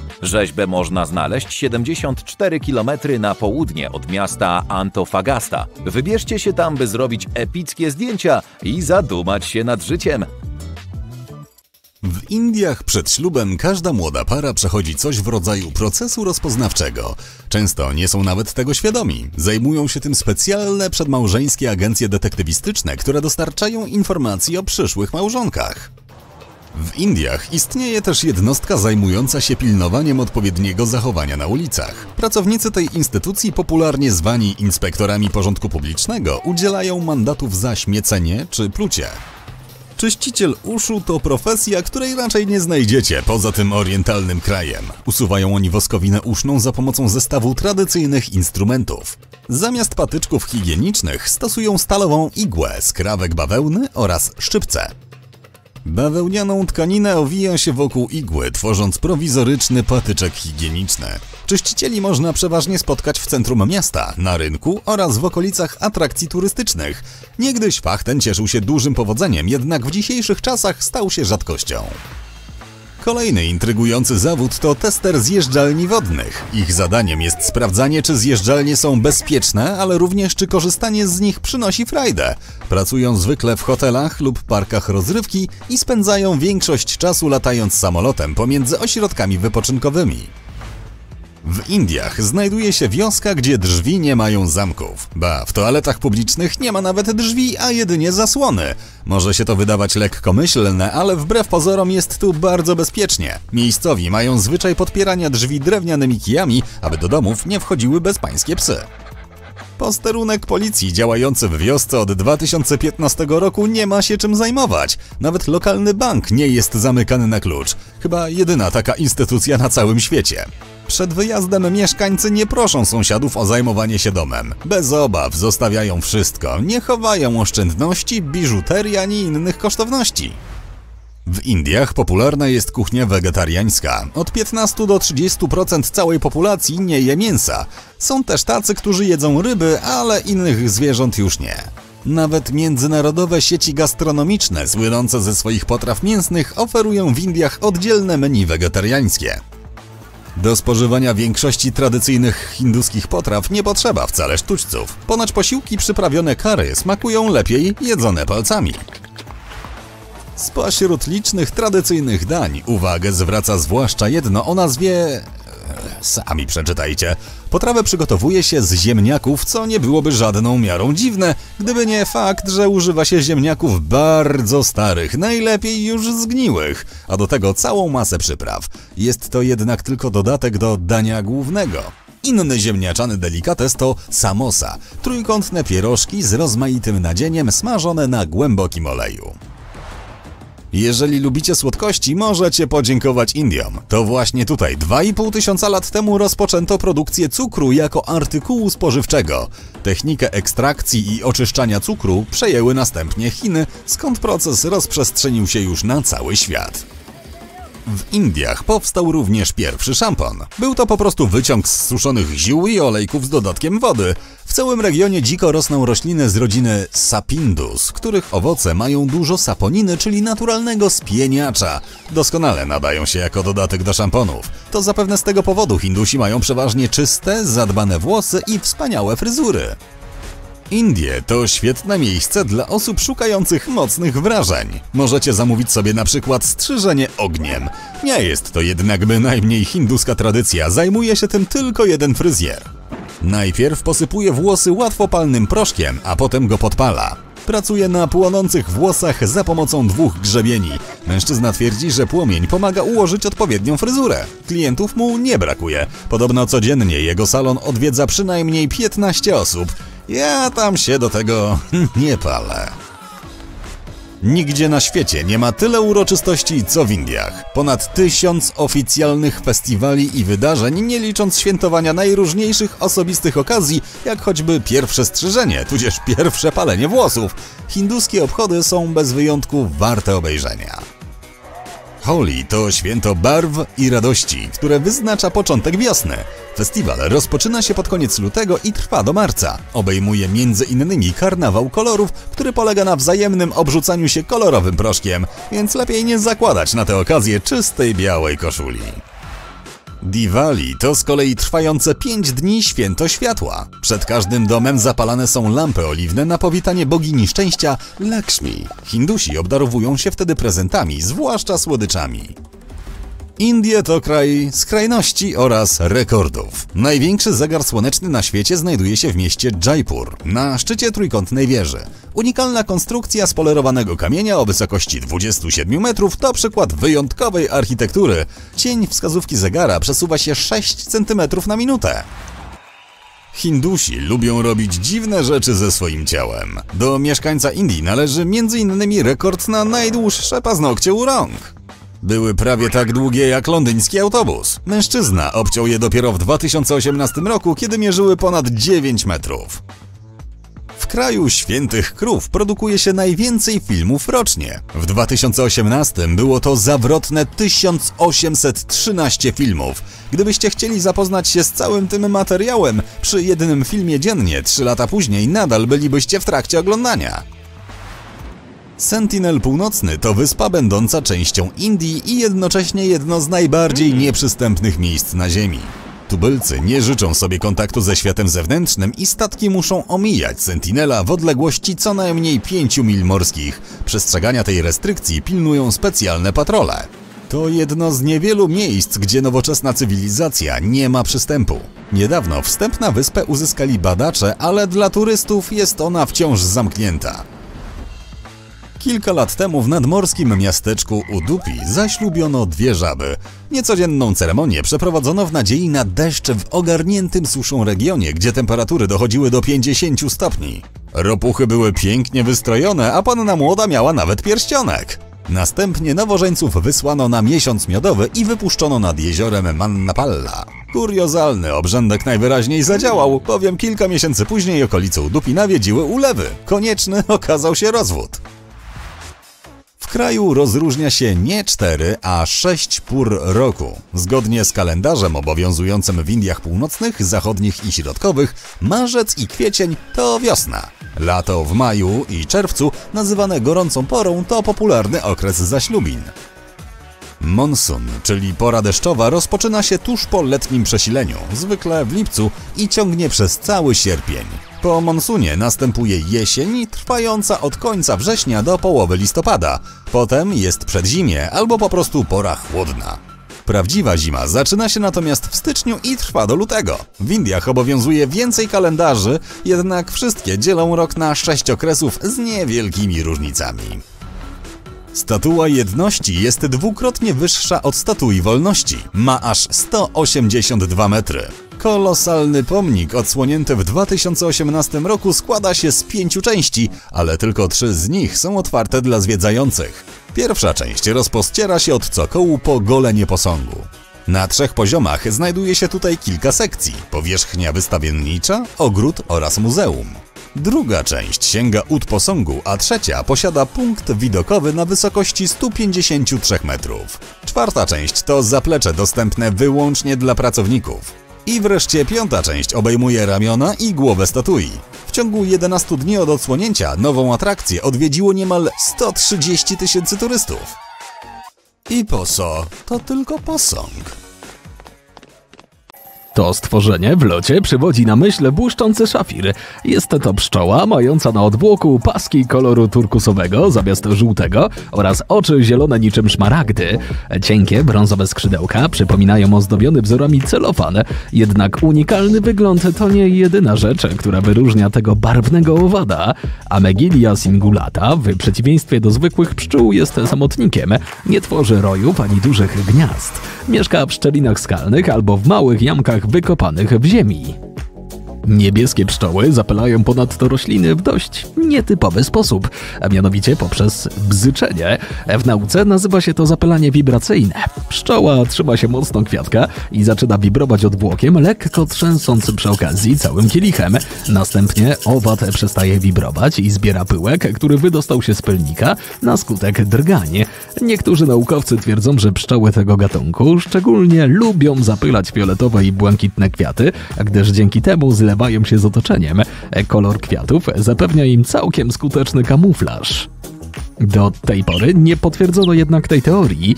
Niebieskie pszczoły zamieszkują głównie Australię, gdzie stanowią istotny element gospodarki rolnej.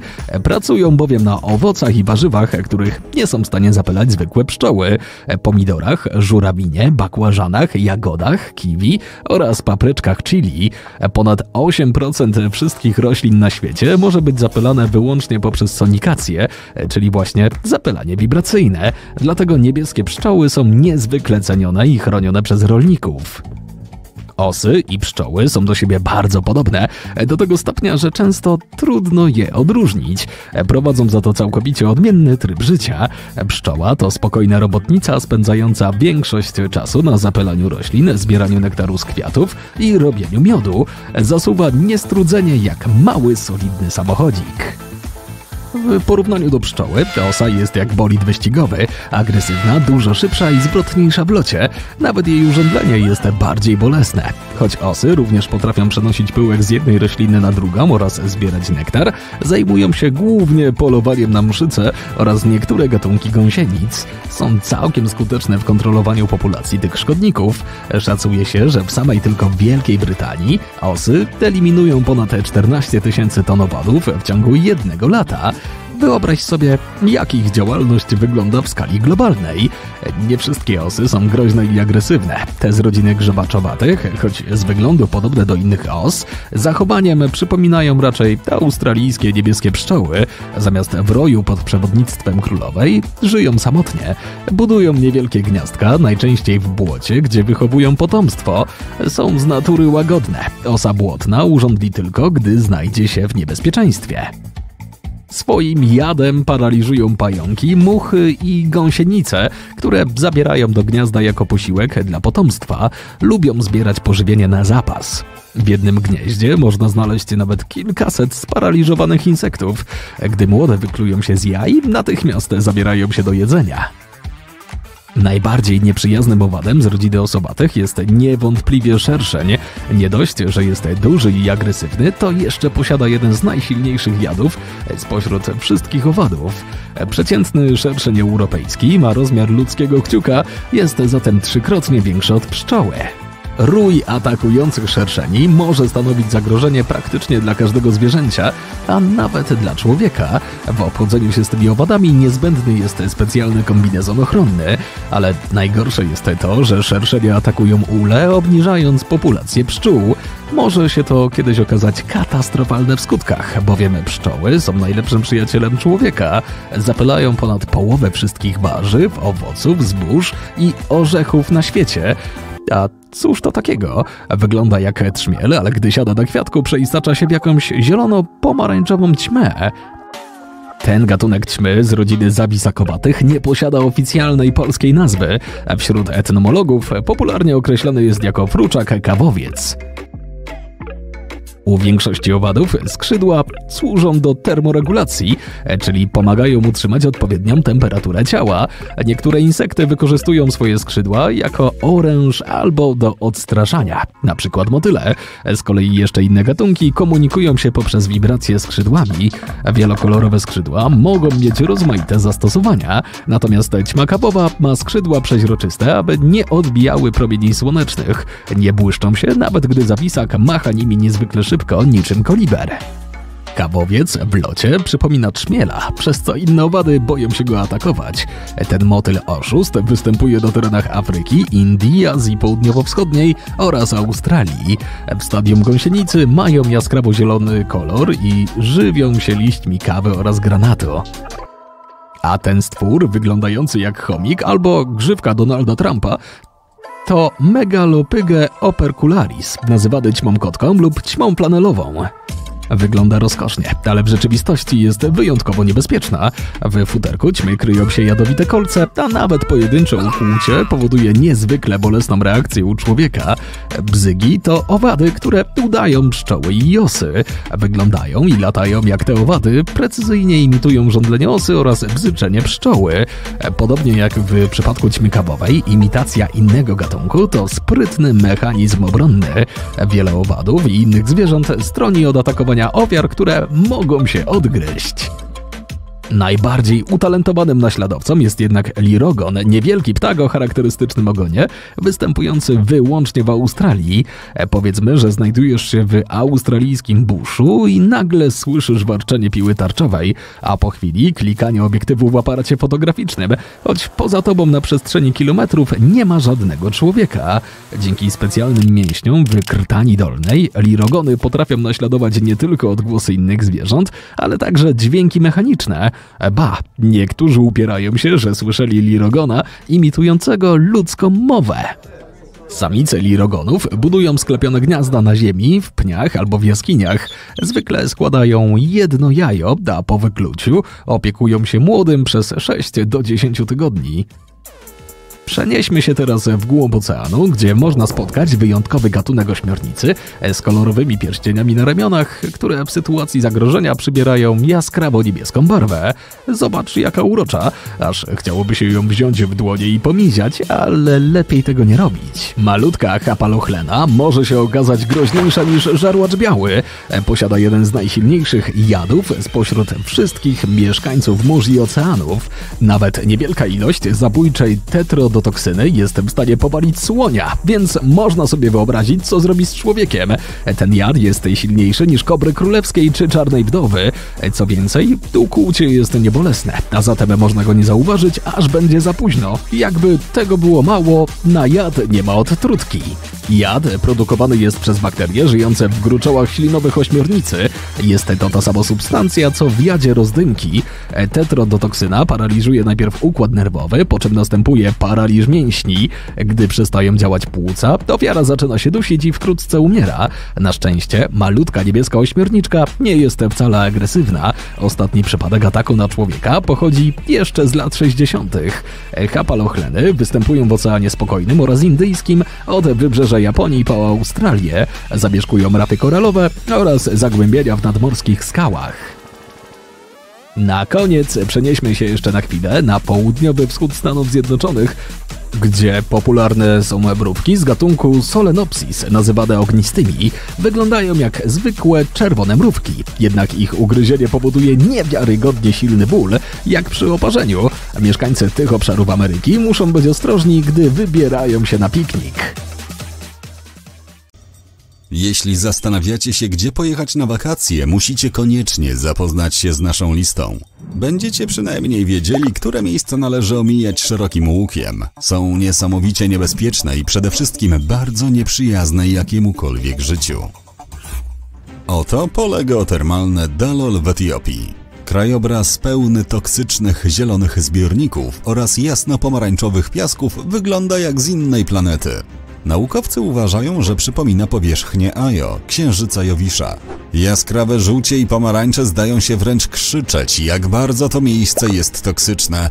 I rzeczywiście dobrze kombinujecie. W okolicach Dalol dominuje siarka, przez którą tereny te zupełnie nie nadają się do życia. Pole zawdzięcza kosmiczny wygląd swojemu położeniu. Jest to ujście wulkanu. A żeby było jeszcze ciekawiej, w przeciwieństwie do innych wulkanów, ten jest niejako odwrócony. Większość pnie się przecież ku górze niczym góry, ale Dalol jest poszarpany. Jego rdzeń znajduje się na wysokości 50 metrów, licząc jednak w dół, czyli poniżej poziomu morza. Okalającą go powierzchnię pokrywają rezerwuary wody, soli oraz zjawiskowych formacji mineralnych, które przypominają rafy koralowe. Wszystko to powstaje w wyniku aktywności magmy płynącej około 4 km pod ziemią. Magma podgrzewa wodę w gruncie, a następnie zaczyna unosić się przez warstwy soli. Gdy wulkan jest aktywny, produkuje jeszcze więcej magmy, która wypycha wodę ku powierzchni. Ta z kolei wynosi ze sobą minerały i to one tworzą tę sztuczną rafę koralową. Ale nie jest to jedyny widok w okolicy, który zapiera dech w piersiach. W okolicy występują również kolorowe baseny solankowe. Lepiej jednak darować sobie pływanie. Temperatura przekracza punkt wrzenia wody. Gorąc jest główną przyczyną, która dyskwalifikuje Dalol jako cel podróży. Przeciętna temperatura jest wyższa niż gdziekolwiek indziej, wynosi około 34 stopni Celsjusza. Dla porównania średnie wartości w Stanach Zjednoczonych wahają się w okolicach 12. Co więcej, w tej pustynnej depresji rzadko kiedy pada deszcz, co czyni ją również jednym z najsuchszych miejsc na świecie. Niesamowite, że swego czasu ludzie przystosowali się do tych warunków i żyli w okolicach wulkanu. Ale nie na długo. Mieszkańcy małej wioski słusznie uznali, że lepiej poszukać lepszego miejsca do życia. I choć w okolicach Dalol panuje najwyższa średnia temperatura na świecie, to rekordową odnotowano na innym kontynencie.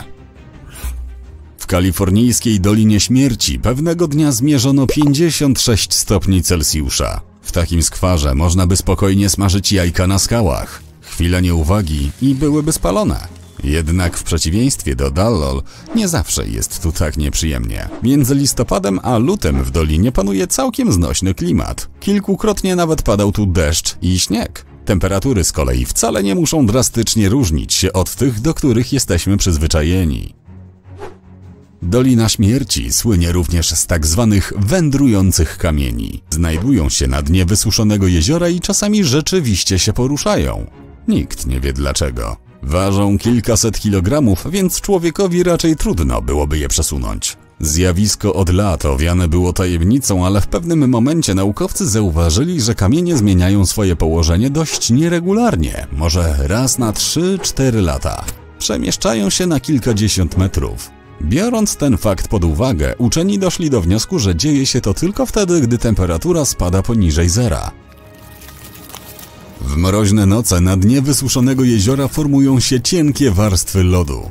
Następnie wiejący wiatr zaczyna powoli przesuwać skały z prędkością od 2 do 5 metrów na minutę. Przemieszczają się na tak krótkich dystansach, ponieważ rzadko kiedy zdarzają się tu przymrozki. A teraz z najgorętszego miejsca na świecie przeniesiemy się w najmroźniejsze, do stacji Wostok na Antarktydzie. Najniższa zanotowana temperatura wyniosła tu minus 89 stopni Celsjusza. To 18 razy zimniej niż w lodówkach. Jednak nie tylko temperatura stanowi o wyjątkowości tego miejsca. Stacja mieści się na wysokości 3,5 tysiąca metrów. Oznacza to mniej tlenu, co może powodować zawroty głowy i problemy z oddychaniem. Tamtejsi pracownicy doświadczają nocy polarnych. Przez 120 dni w roku otacza ich całkowita ciemność. Wszystkie te ekstremalne warunki czynią te tereny jednym z najniebezpieczniejszych miejsc na Ziemi. Co ciekawe, na świecie znajduje się jeszcze jedna Dolina Śmierci w Rosji. Ale tym razem wyróżnikiem nie jest ani wysoka temperatura, ani susza. Swoją nazwę i reputację miejsce to zawdzięcza mrocznym i mistycznym zjawiskom. Podróżnicy przemierzający rosyjską dzicz natknęli się na dziwne struktury, które kształtem przypominają gigantyczne do połowy zakopane kotły. Niektórzy chowali się w nich przed niebezpiecznymi żywiołami, inni zaś przepadli bez śladu. Kiedy ludzie wracali do tego samego miejsca, czuli się jakby byli chorzy. A ponieważ nikt nie potrafił wyjaśnić tego w logiczny sposób, terenom zaczęto przypisywać nadprzyrodzone właściwości. Dolinę wielokrotnie odwiedzali naukowcy, którzy poprzez badania starali się rozwikłać zagadkę tego miejsca. Ekspedycje organizowano z rozmachem, włącznie z przypatrywaniem się dolinie z powietrza. W końcu któregoś razu pilot śmigłowca odkrył nowy kocioł. Gdy wylądował i mu się przyjrzał, miał wrażenie, jakby odkrył wejście do małej jaskini. Aktualnie sądzi się, że te wszystkie kotły są jedynie dziwnymi formacjami skalnymi i stanowią wejścia do jaskiń. Ich widok wprawiał zmęczonych i zdezorientowanych podróżników w zakłopotanie. Choroby i zniknięcia były prawdopodobnie rezultatem ulatniających się toksycznych gazów, co miało związek z okoliczną aktywnością geotermalną. W rzeczywistości jednak podróżni rozbijali obozy akurat na terenie, gdzie kumulował się dwutlenek węgla albo inne szkodliwe gazy. Większość tego typu miejsc jest tak nieprzyjazna życiu, że nawet najwytrwalsze bakterie nie są w stanie w nich przetrwać. Czasami jednak to stworzenia są prawdziwym zagrożeniem. Oto przykład. Wyspa Węży tętni życiem, ale podobnie jak wszystkie wcześniej wymieniane miejsca, nie nadaje się do zamieszkania przez człowieka. Znajduje się około 30 km od wybrzeży Brazylii i jest domem dla całej armii jadowitych węży. Niektórzy uważają, że może ich tam być nawet pół miliona. To jednak przesadzone szacunki. W rzeczywistości wyspę zamieszkuje około 4000 syczących gadów. Ze względu na ruchy tektoniczne skrawek lądu oderwał się od kontynentu i w ten sposób lata temu węże stały się więźniami wyspy. Początkowo spoiwem łączącym te tereny ze stałym lądem był wąski pas zieleni, jednak z biegiem czasu zmieniające się poziomy wód oraz ruchy tektoniczne odcięły je od brazylijskiego wybrzeża. Węże wraz z paroma innymi gatunkami zwierząt zostały zamknięte na wyspie i zmuszone do życia w izolacji. Ludzie nie tylko nie powinni się tam pojawiać, ale mają wręcz oficjalny zakaz odwiedzania wyspy. No, chyba że otrzymają specjalne pozwolenie przysługujące naukowcom i badaczom dzikiej przyrody. Taka surowa polityka ma zapobiegać ryzykownym spotkaniom ludzi z jadowitymi wężami oraz chronić rzadkie gatunki. Jedynym obiektem stworzonym przez człowieka jest tam latarnia morska, dzięki której statki bezpiecznie omijają wyspę.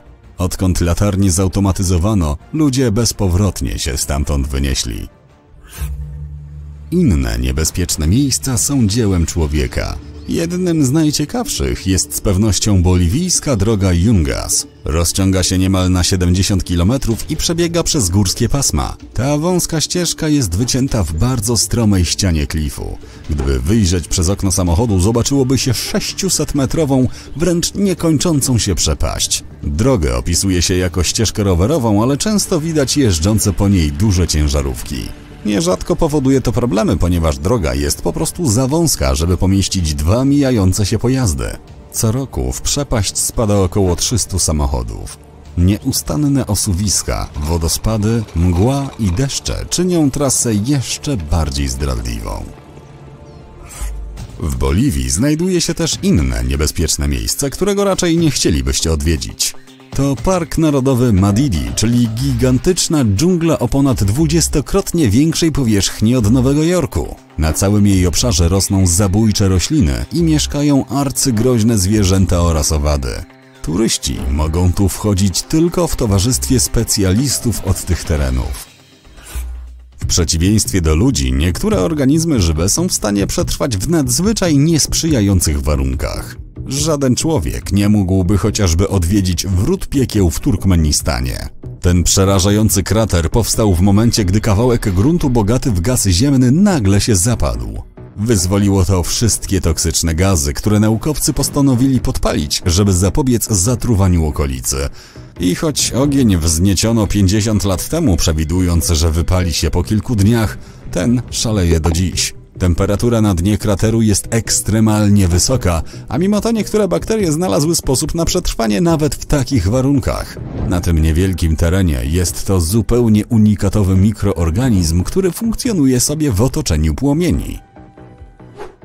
Życie może też istnieć w skrajnie niskich temperaturach. Naukowcy wywiercili w lodach Antarktydy otwór o głębokości ponad 3,5 km, a na wydobytych fragmentach odkryli nieznaną bakterię. Trudno stwierdzić, jak udało jej się przeżyć w tak ekstremalnych warunkach. Idąc dalej, mikroorganizmy mogą żyć nawet w kosmosie. Uczeni odkryli jeden z nich na zewnątrz Międzynarodowej Stacji Kosmicznej. Bakteria 3 lata spędziła w ultraniskich temperaturach oraz będąc narażoną na intensywne promieniowanie słoneczne, a mimo wszystko przetrwała.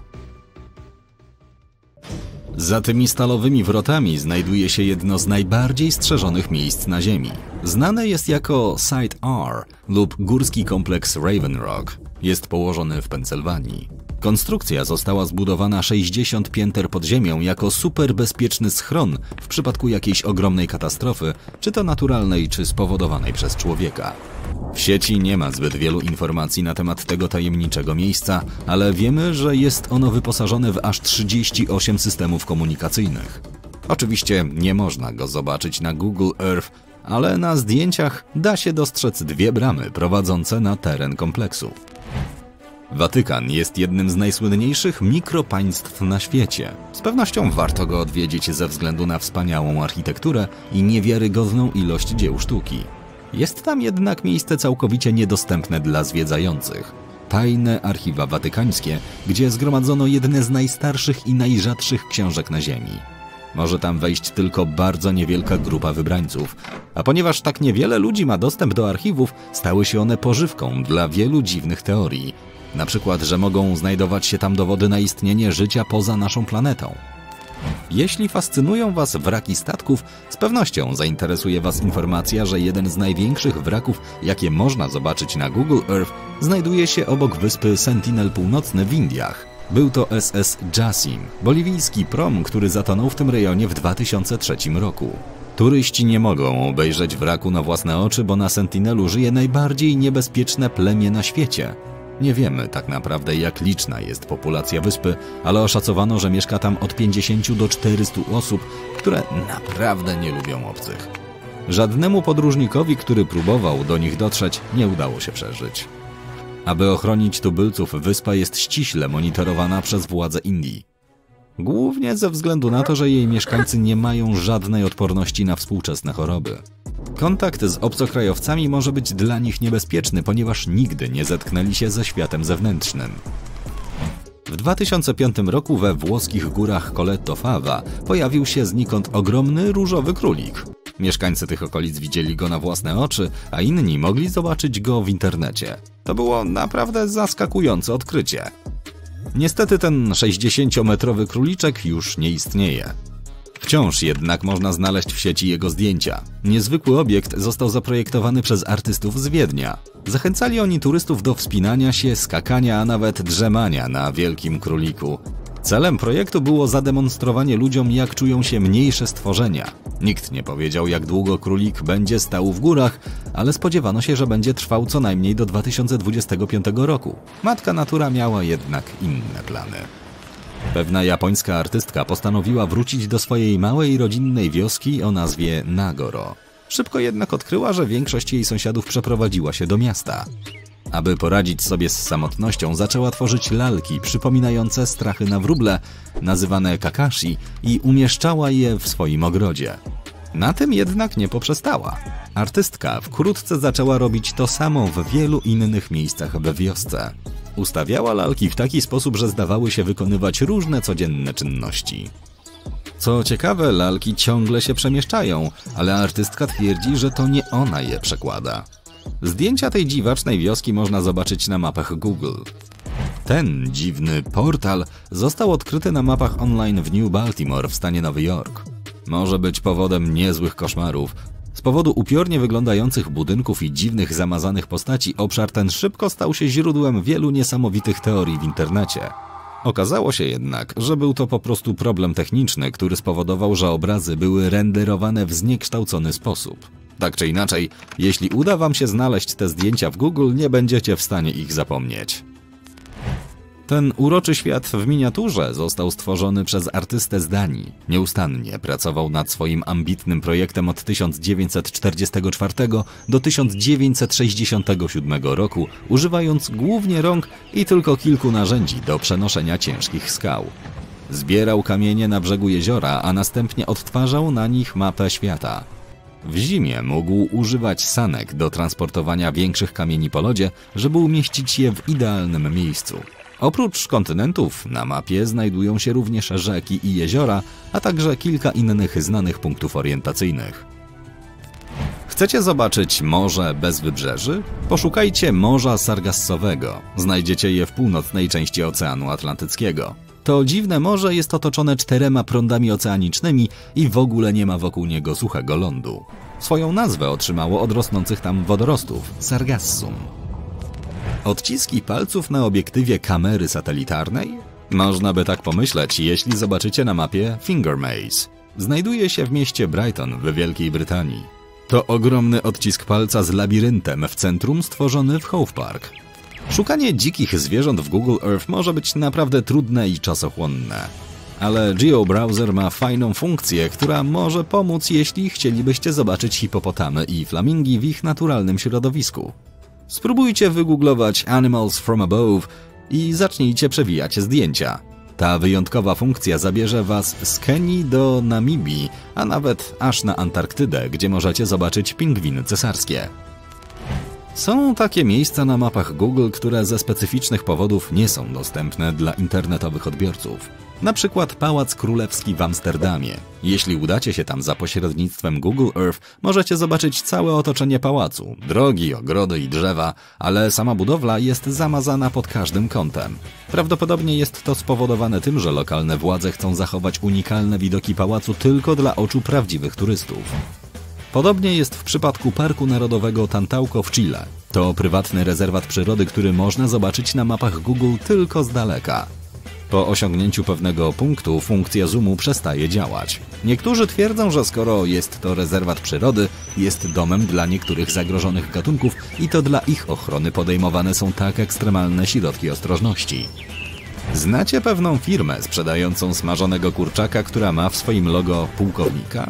Nie zobaczycie tych logo nawet w bardzo wysokiej rozdzielczości na mapach Google. To dlatego, że mapa online używa specjalnych algorytmów do wykrywania i zamazywania twarzy. Jak widać, nie zawsze dotyczy to tylko prawdziwych osób. Brazylijskie władze zakazują ludziom zwiedzania wyspy węży i nie bez powodu. Jest ona położona w pobliżu miasta São Paulo i zamieszkują ją ponad 4000 najbardziej jadowitych węży na świecie.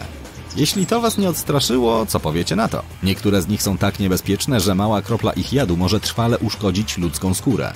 Możecie zobaczyć tę wyspę na Google Earth, ale im bardziej przybliżacie, tym bardziej obraz staje się rozmazany. Oto kolejna fajna rzecz, którą można zrobić w Google Earth. Podróż w czasie. Cóż, przynajmniej w pewnym sensie. Wprawdzie nie będziecie w stanie cofnąć się w czasie i lepiej nauczyć się do tego trudnego egzaminu, ale możecie zobaczyć historyczne ujęcia waszych ulubionych miejsc. Sprawdźcie, czy ta funkcja działa, patrząc na lewy górny róg ekranu.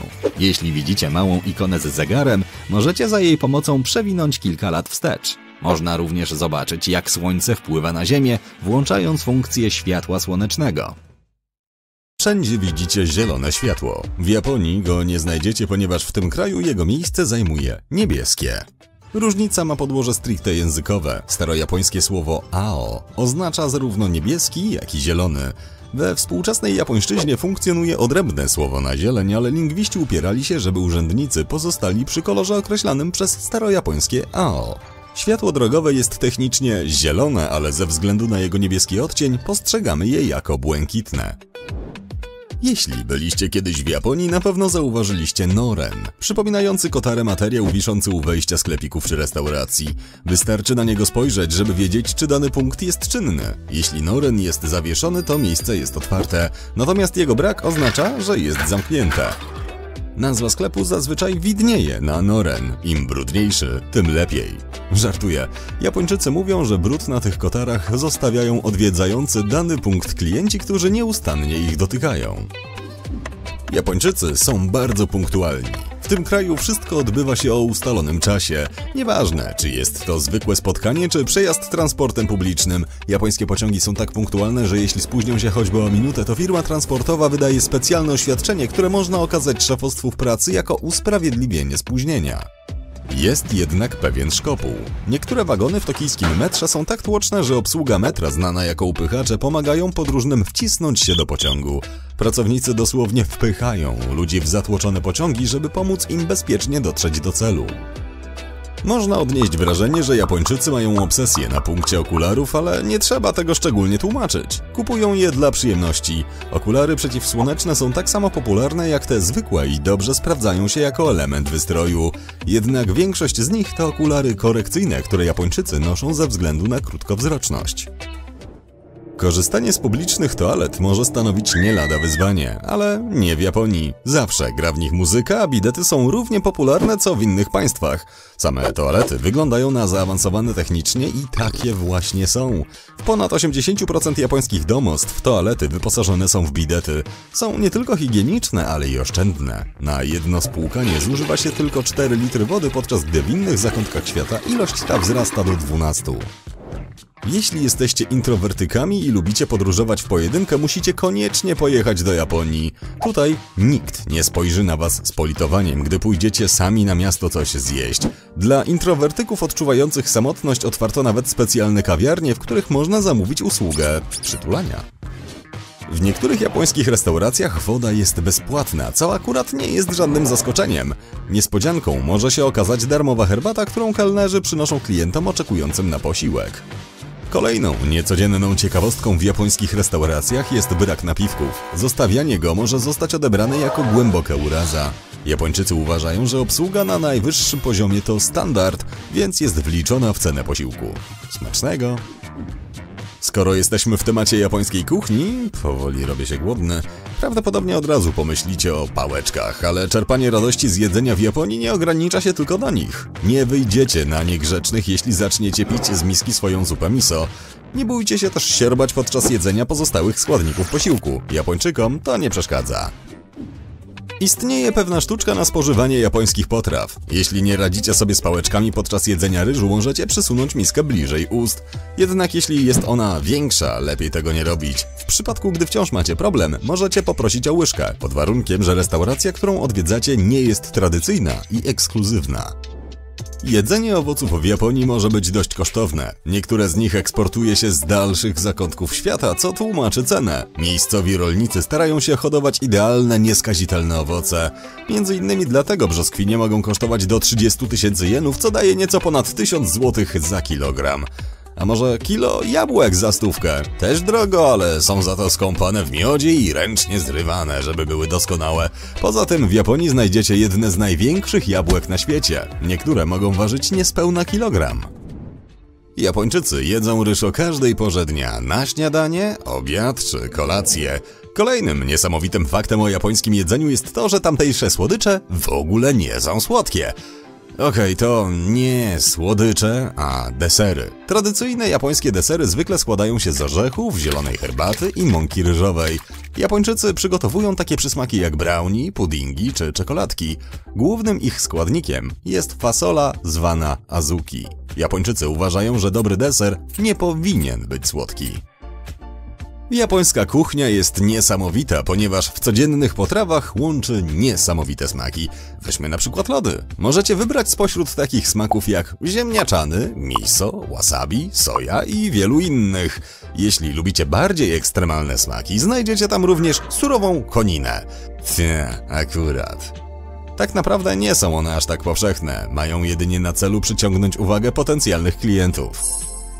Innymi niecodziennymi smaczkami są hot dogi z makaronem zamiast kiełbaski albo unagi cola, czyli cola o smaku węgorza. Żeby było ciekawiej, znajdziecie również ramen o smaku czekolady. Kto by się temu oparł? Japończycy zawsze zdejmują buty po wejściu do domu. Niektórzy mają kilka par kapci, na przykład do korzystania z toalety. Nigdy nie wchodźcie do japońskiego domu w butach, to bardzo niegrzeczne. W większości państw podaje się rękę na powitanie, ale Japończycy częściej się sobie kłaniają. Im częstsze i głębsze ukłony, tym większy szacunek okazujemy drugiej osobie. Jest w tym jednak pewien haczyk. Jeśli ukłon będzie zbyt niski, będzie uchodził za obraźliwy. Gest ten jest akceptowany wszędzie, w sklepach, w pracy, a nawet wśród znajomych. Trudno się na czymkolwiek skupić w pociągu ze względu na otaczający hałas, ale w japońskich pociągach nic nie może dekoncentrować, więc praca będzie owocna. Japończycy nawet nie rozmawiają w nich przez telefon. Nie znaczy to jednak, że są zupełnie cisi. Bary stanowią dużą część codziennej kultury, więc jest tam dosyć głośno. Arbuzy są zwykle okrągłe, prawda?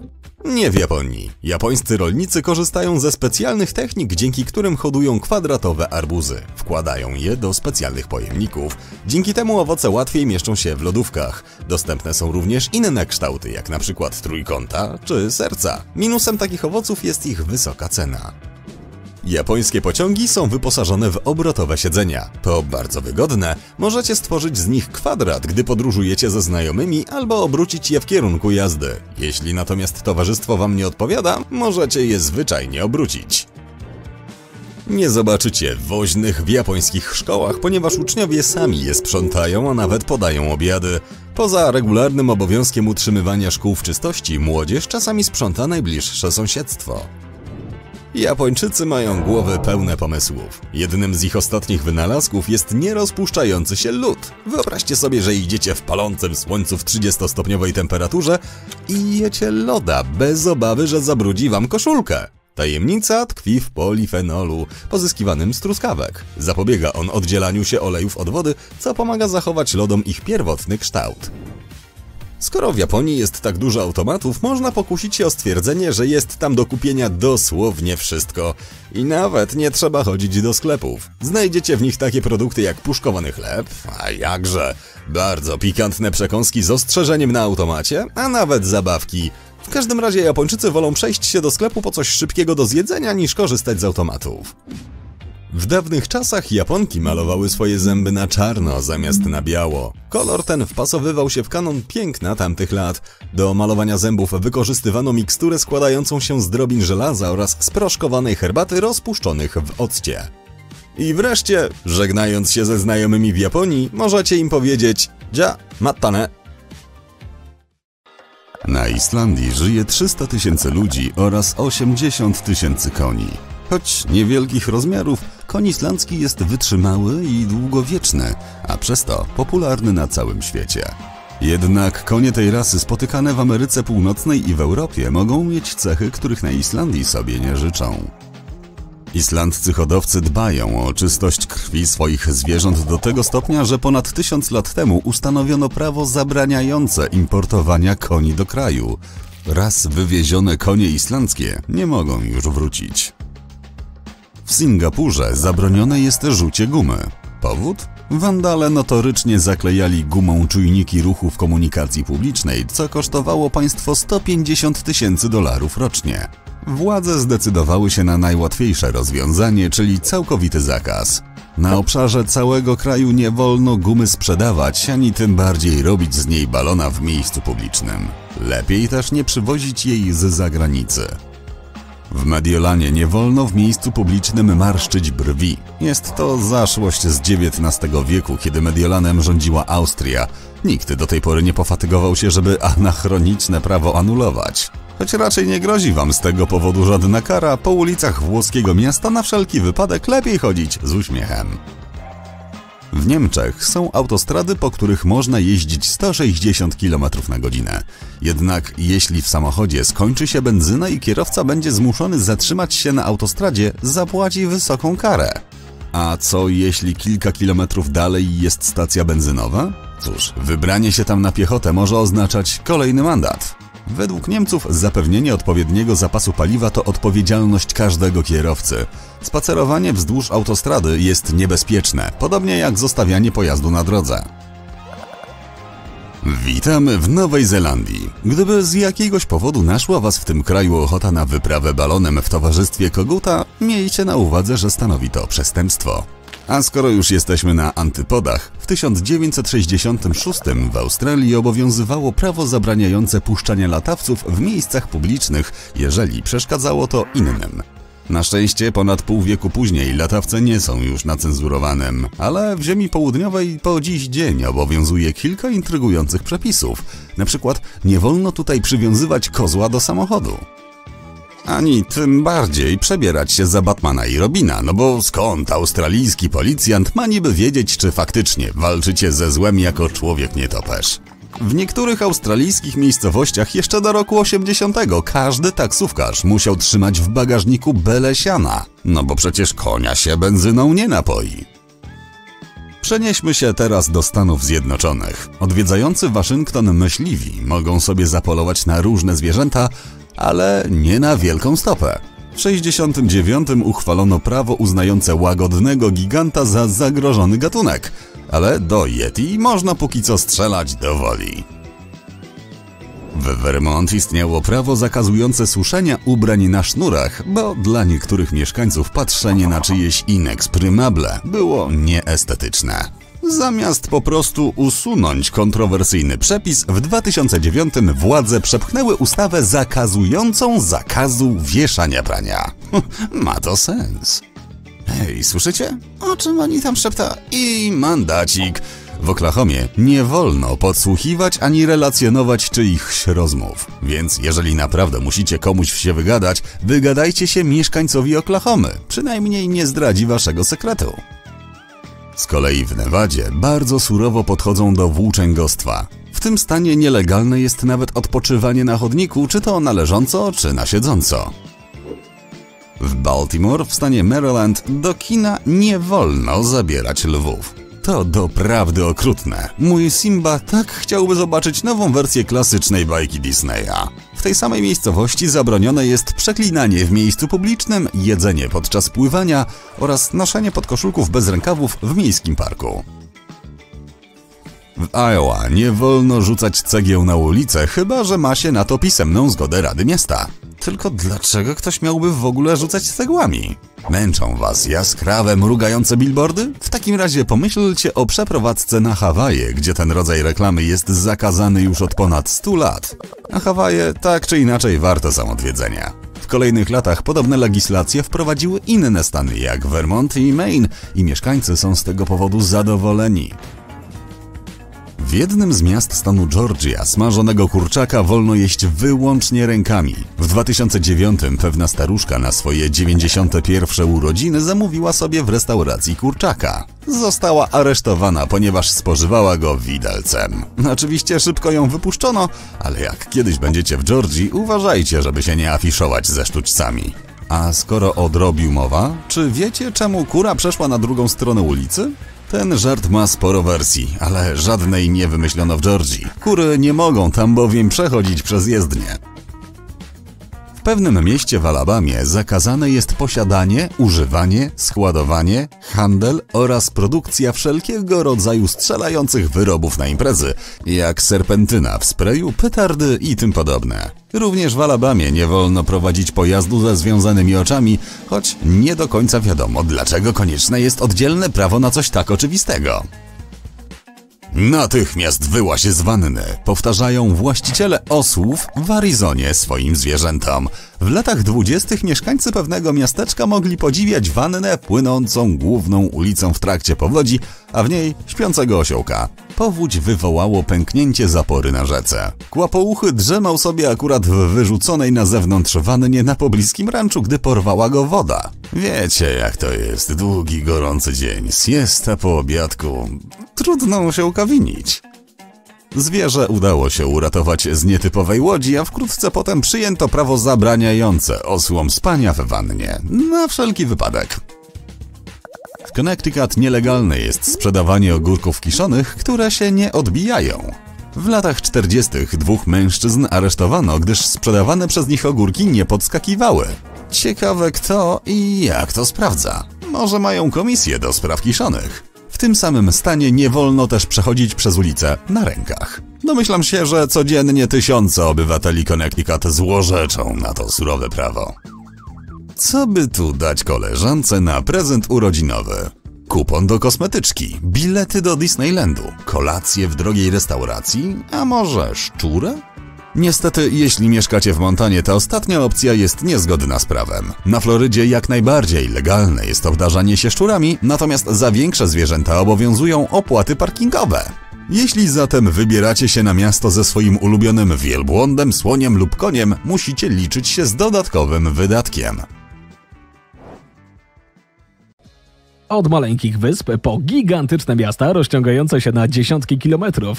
Dzisiaj poznasz najgęściej zaludnione miejsca na Ziemi. To sprawi, że zaczniesz kwestionować granice tego, co jest możliwe, jak daleko ludzie są gotowi się posunąć w poszukiwaniu lepszego życia lub po prostu próbując przetrwać. Lista takich miejsc obejmuje zarówno Hongkong, jak i Malediwy, egipskie miasto Tanta i maleńką wyspę na jeziorze Wiktorii w Afryce. Dowiedzmy się, jakim cudem żyją tam ludzie. Hongkong zamieszkuje 7,5 miliona ludzi, a liczba ta ma osiągnąć 8,5 miliona do roku 2041. Gęstość zaludnienia miasta wynosi ponad 18 tysięcy osób na 2,5 km kwadratowego. Pomimo dość niskiego wskaźnika urodzeń, populacja Hongkongu rośnie. Ten paradoks ma swoje wytłumaczenie. Wiele osób stale imigruje do Hongkongu ze względu na wszystkie możliwości, jakie oferuje to miasto, takie jak na przykład różne miejsca pracy. Miasto ma niewiarygodnie wysoką cenę gruntów. Jest to jeden z głównych powodów wysokiej gęstości zabudowy.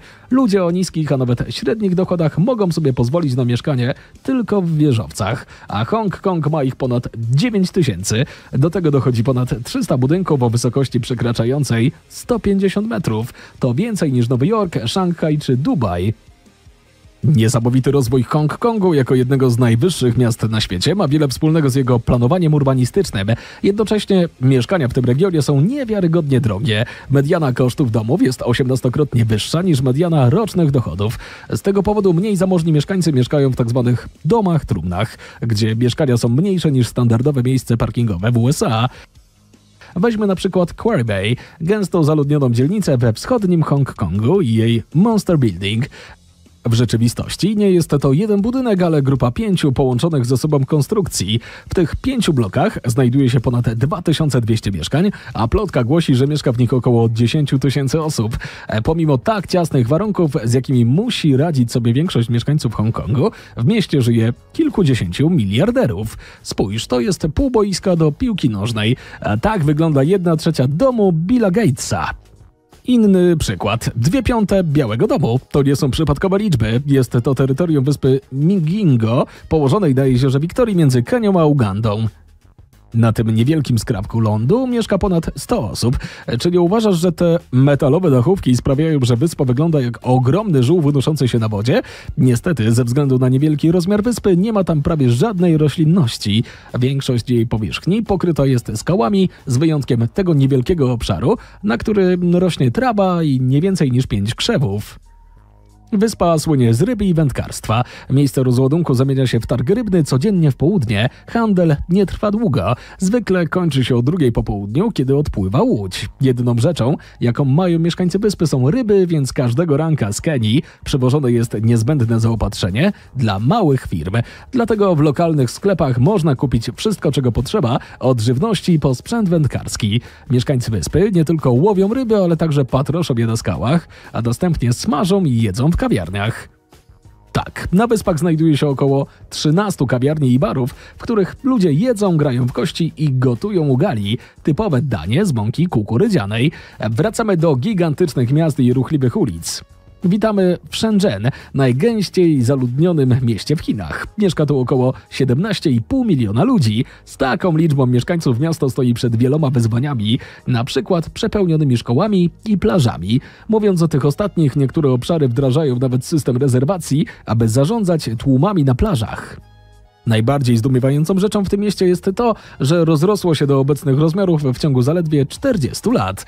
Kiedyś była to wioska rybacka, ale potem dzięki wsparciu władz i bliskości Hongkongu miasto przekształciło się w tętniące życiem centrum finansowe i gospodarcze. Obecnie ma status jednego z najbardziej ruchliwych portów kontenerowych na świecie, obok Szanghaju i Singapuru. Shenzhen odnotowało również najszybszy wzrost liczby milionerów w ciągu ostatnich 10 lat o 140%. Taki wzrost jest znacznie większy niż w innych miastach w Chinach, w tym Pekinie i Szanghaju. Islet Abrue to karaibska wyspa wchodząca w skład Haiti, która jest jedną z najgęściej zaludnionych wysp na świecie. Około 500 mieszkających tam osób dzieli powierzchnię zaledwie 4000 m2.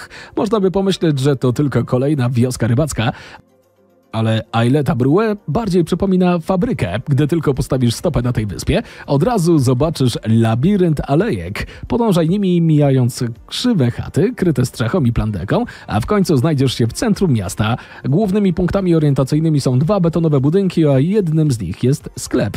Po środku znajduje się skromny plac miejski, wyposażony w dwie słoneczne latarnie uliczne. Jedna z nich jest stara i nie jest już używana, a druga błyszczy nowością. Na wyspie mężczyźni przeważają liczebnie nad kobietami i dziećmi. W ciągu dnia wiele znajduje się poza miastem i łowi ryby. Horyzont otaczający wyspę usiany jest żaglami i łodziami. Reszta pozostaje na wyspie wykonując inne prace, takie jak naprawa łodzi, naprawianie sieci oraz przygotowywanie ton ryb do wysyłki na Haiti i w inne miejsca. Dzieci w ciągu dnia głównie bawią się i pływają. Nasz ostatni cel to egipskie miasto Tanta, które jest również jednym z najgęściej zaludnionych miejsc na świecie. Ma około 70 tysięcy ludzi na 2,5 km kwadratowego. Dla porównania, w Nowym Jorku na 2,5 km kwadratowego przypada nieco mniej niż 30 tysięcy osób. Miasto położone jest między Kairem a Aleksandrią, posiada ogromne plantacje bawełny, a w 1856 roku stało się przystankiem na trasie kolejowej głównie w celu eksportu bawełny rosnącej w okolicy do Europy. I choć okolice Tanty to głównie pola uprawne, Sada zamieniła się w duże, zatłoczone miasto. Pod koniec października miasto staje się centrum świętowania zbiorów bawełny. 3 miliony ludzi przyjeżdża z całej delty i innych części świata arabskiego na kolorowe, ośmiodniowe obchody. Tanta słynie ze swoich słodyczy. Wykonane są z żelatyny, kokosa, sezamu, orzeszków ziemnych i ciecierzycy. Mnóstwo tych słodyczy jest sprzedawanych podczas festiwali, kiedy wielu Egipcjan odwiedza miasto. Nic dziwnego. Są one uważane za przysmak od XIX wieku. Tanta ma też wiele fabryk przetwarzających bawełnę. Jest to również miasto uniwersyteckie. Uniwersytet Tanta został założony w latach 70. Male, stolica Malediwów, liczy ponad 200 tysięcy mieszkańców. Oznacza to 49 tysięcy osób na 2,5 km kwadratowego. 80% lądu znajduje się około metra nad poziomem morza, co oznacza, że jeśli część wyspy znajdzie się pod wodą, ludzie będą musieli się przenieść. Sztuczna wyspa, która została stworzona do zarządzania odpadami, staje się zbyt przeciążona. W 1997 roku y, Holamail, kolejna sztuczna wyspa, została zbudowana w celu złagodzenia dramatycznej sytuacji związanej z liczbą ludności. Obecnie jest ona już tak rozwinięta jak Male. Malediwy składają się z ponad tysiąca wysp rozciągających się wzdłuż 800-kilometrowej osi. Wszystkie są wyspami koralowymi. Wyrosły wokół krawędzi prehistorycznych podmorskich wulkanów. Tylko 188 wysp jest zamieszkanych, ale większość z nich ma mniej niż 1000 mieszkańców. Coraz więcej obywateli Malediwów rezygnuje z życia na wyspie i przenosi się do stolicy, ale Male jest już mocno na granicy przeludnienia. Jeśli przeprowadzi się tam jeszcze więcej ludzi, jego fizyczna struktura będzie musiała zostać całkowicie przebudowana. Władze już teraz otaczają Male mostami morskimi i sztucznymi wyspami wypełnionymi domami. Jesteście gotowi na niepokojący dreszczyk? Oto tajemnicza historia domu Johna Lawsona w miejscowości New Hamburg, zaledwie 130 km na północ od Nowego Jorku. Ta 150-letnia chałupa słynie z obecności przerażających manekinów, które magicznie zmieniały stroje i pozy na frontowym ganku. Niektórzy twierdzą, że były one nawiedzane przez duchy tragicznych wydarzeń, które miały miejsce w przeszłości. W dawnych czasach rodzina Lawsonów zbudowała ten zabytkowy dom w tętniącej życiem wiosce portowej. Jednak w latach 70. XIX wieku doszło w pobliżu do dwóch tragedii: wypadku kolejowego i niszczycielskiego pożaru, które wywołały chaos i pochłonęły wiele ludzkich istnień. Tajemnicze manekiny pojawiły się ni stąd, ni zowąd ubrane w starodawne ubrania i dodatki. Kiedy po raz pierwszy zauważono to przerażające zjawisko, nie znano tożsamości właściciela domu. Czasami manekiny trzymały coś w rękach, jak książki. Mrożące krew w żyłach postacie nie przepadały za kiepską pogodą i znikały na przykład podczas burz. Siedziały też zwrócone twarzami do miejsca katastrofy kolejowej. Używam czasu przeszłego, bo nagle w roku 2016 zniknęły bez śladu, pozostawiając po sobie tajemnicę, która do dziś nawiedza dom Johna Lawsona. Czy kiedykolwiek powrócą? Czas pokaże. Wenecję uważa się za miasto miłości i enklawę artystów, ale pobliska wyspa Powelia ma, delikatnie mówiąc, kiepską reputację. Jest przedzielona kanałem na dwie części. Jedną porasta dzika roślinność, a na drugiej znajdują się ruiny szpitala psychiatrycznego. Istnieje jeszcze jedna mała część będąca w zasadzie fortem. Wyspa jest niezamieszkana, pozostało na niej tylko kilka samotnych budowli. Plotka głosi, że około 50% tych ziem skrywa ludzkie prochy. O rany. Kiedy w XIV wieku wybuchła wielka epidemia dżumy, władze musiały wymyślić, co zrobić z ciałami i samymi chorymi, dla których nie było już ratunku. Podobno skończyło się na ich spaleniu. Niektórzy twierdzą jednak, że ponad 100 tysięcy ofiar pochłonęła wyspa, gdzie leżą w masowych grobach zwanych dołami dżumy. Informacje dotyczące tego, jak pozbyto się tych wszystkich ciał, są w najlepszym razie pobieżne. Dlatego miejsce obrasta w upiorne spekulacje. Niezależnie od tego, czy zostały spalone, czy pochowane, smutna prawda jest taka, że na Poweli żywota dokonało tysiące ludzi.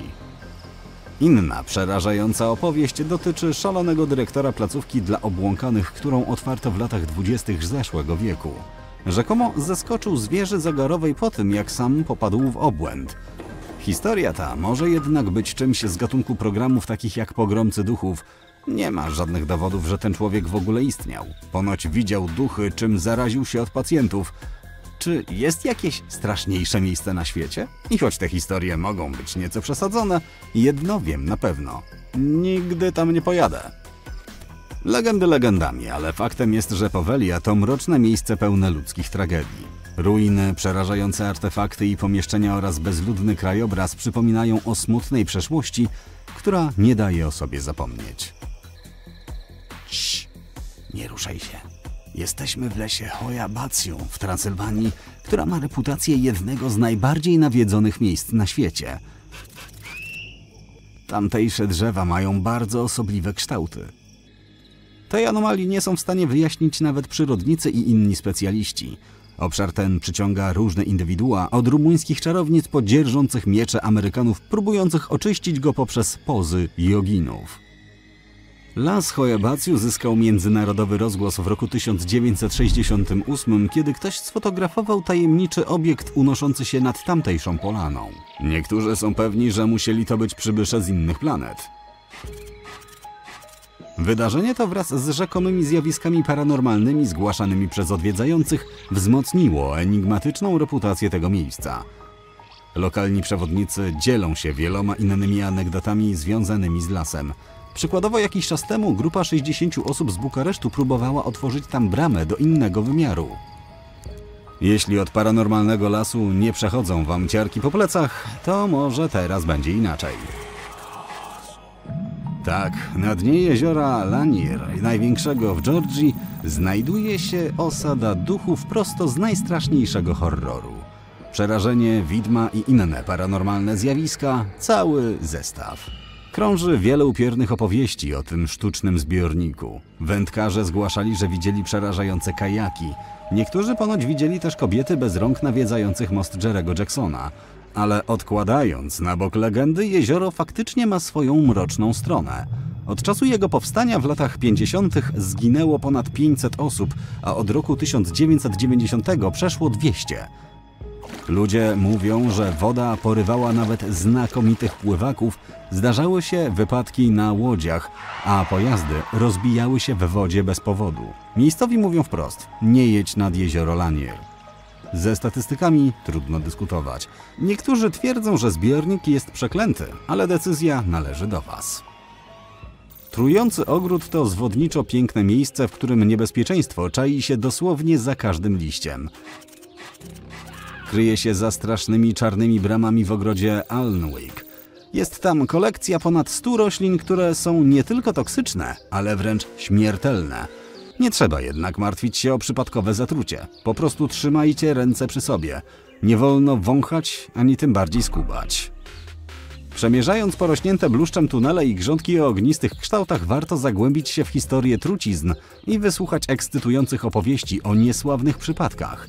To będzie bliskie spotkanie z niebezpieczną florą. Złotokap, pokrzyk wilcza jagoda, a nawet pokrzywa gępi gępi, o której krążą plotki, że jest najbardziej trującą rośliną świata. Nawiasem mówiąc, istnieje wiele szalonych historii na jej temat. Niektóre są bez wątpienia nieco wyolbrzymione, jak chociażby ta o używaniu liści pokrzywy jako papieru toaletowego. Ała. Ale inne są jak najbardziej prawdziwe, jak ta o koniach, które po poparzeniu wariują. W 1922 roku w Nowej Gwinei pewna osoba zmarła od poparzenia. Jeśli więc macie odwagę, odwiedźcie trujący ogród. Pamiętajcie tylko, aby zachować ostrożność. Ach, wakacje w Finlandii. Najszczęśliwszym kraju na świecie. Wynajmujecie samochód i jedziecie zobaczyć piękne jeziora. Co może pójść nie tak? Nagle stajecie twarzą w twarz z ponad tysiącem dziwnie nieruchomych postaci. Te istoty są ubrane w kolorowe stroje, ale... Chwila, coś tu nie gra. Ich głowy są pozbawione rysów. Ciała drewniane i wszystkie zdają się patrzeć w tym samym kierunku. To tak, jakby bawili się w zastygłe pozy i wszyscy zapomnieli, że kiedyś zabawa się kończy. Te osobliwe postaci znane są jako milczący ludzie. Straszą od 1988 roku. Pomysłodawcą tego upiornego projektu jest tancerz i choreograf Ray Joe Kella. Początkowo stacjonowali w La Silli, niedaleko Helsinek, a potem trochę podróżowali, aż wreszcie umieszczono je w obecnym miejscu na poboczu drogi. Skąd te przeprowadzki milczących ludzi? Być może byli zmęczeni miejskim zgiełkiem i zależało im na nieco spokojniejszym miejscu do odpoczynku. Nikt w zasadzie nie wie o co chodzi z tymi ludkami z torfowymi głowami i słomianymi włosami. Niektórzy się ich boją, wyglądają bowiem jakby obserwowali każdy ruch. Inni uważają, że są trochę smutni, jak grupa przyjaciół czekająca na autobus, który nigdy nie nadjeżdża. Ale hej, na tym polega zabawa. Interpretacja jest dowolna. Może być humorystyczna, jak ta, że strachy na wróble mają lepszy gust modowy niż większość ludzi. W pobliżu znajduje się kawiarnia z tradycyjnymi fińskimi naleśnikami, więc można się tam najeść nie tylko strachu. Na dalekiej północy Australii znajduje się upiorna Czarna Góra, znana jako lokalny trójkąt bermudzki. Kalkajaka, jak z kolei nazywają ją rdzenni mieszkańcy, była tłem kilku naprawdę dziwnych zniknięć sięgających XIX wieku. Znajduje się dość blisko Cooktown i wiąże się z nią kilka legend. Mówi się, że Czarna Góra była niegdyś zaciętym polem bitwy rywalizujących ze sobą klanów. Całe miejsce jest najeżone masywnymi granitowymi głazami, które leżą porozrzucane w chaosie. Tutaj odkrywcy, konie i bydło rozpływali się w powietrzu. Przez wiele lat ludzie byli przerażeni złą reputacją tej okolicy, aż ostatnie badania rzuciły nieco światła na mroczną tajemnicę Czarnej Góry, kładąc kres wszelkim spekulacjom. Okazuje się, że za tymi wszystkimi zniknięciami wcale nie stoją nadprzyrodzone siły, jak sądziło wielu. Brak umiejętności pływania, krokodyle lub po prostu nieodpowiedzialne wygłupy to prawdziwi winowajcy. Chciałbym Was zabrać w miejsce, w którym prawa fizyki nie obowiązują. Witajcie w Mystery Spot, gdzie na własne oczy można doświadczyć wszelkiego rodzaju nieprawdopodobnych rzeczy, w które aż trudno uwierzyć. Nie martwcie się, to nie czarna magia ani żadne gusła. To po prostu błyskotliwe złudzenia optyczne, które mieszają w głowie i sprawiają, że można zakwestionować rzeczywistość. W czasach amerykańskiego wielkiego kryzysu ludzie potrzebowali rozrywki. Rynek szybko odpowiedział i zaczęły się pojawiać różnej maści tajemnicze miejsca. To najbardziej znane zlokalizowane jest w pobliżu Santa Cruz w Kalifornii. Zostało otwarte w 1939 roku. W środku ludzie stają pionowo na pochyłej podłodze lub pod niemożliwymi kątami na płaskiej powierzchni. A piłka toczy się po rampie, przecząc grawitacji i logice. To jak pobyt w gabinecie śmiechu, ale bez przerażających klaunów. Miejsce to znane jest z pokazów naginających prawa fizyki, zarówno podczas krótkiego spaceru pod górę, jak i wewnątrz drewnianej chaty. Ma się tu do czynienia z błędnym postrzeganiem wysokości i orientacji obiektów. Te złudzenia wizualne obejmują toczące się pod górę piłki oraz ludzi, którzy pochylają się głębiej niż to możliwe bez zaliczenia upadku. Psychologowie z Berkeley twierdzą, że wszystkie mylne wyobrażenia wynikają z prostego faktu, że dom jest nachylony pod kątem 20 stopni. Następny przystanek zaliczamy również w USA, ale tym razem na zaporze Hoovera w Nevadzie. I także w tym przypadku grawitacja wydaje się z nas kpić. Jeśli kiedyś tam będziecie, przeprowadźcie mały eksperyment.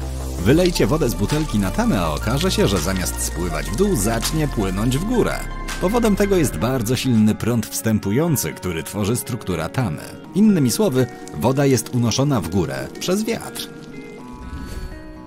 Co ciekawe, Tama nie jest pod tym względem unikatowa. Na Wyspach Owczych istnieje bowiem odwrócony wodospad. Występuje on z powodu całkiem zwyczajnego zjawiska pogodowego, jakim jest silny wiatr. Wyobraźcie sobie gigantyczny wicher z nad oceanu wirujący w stronę stromego skalistego klifu o wysokości 470 metrów.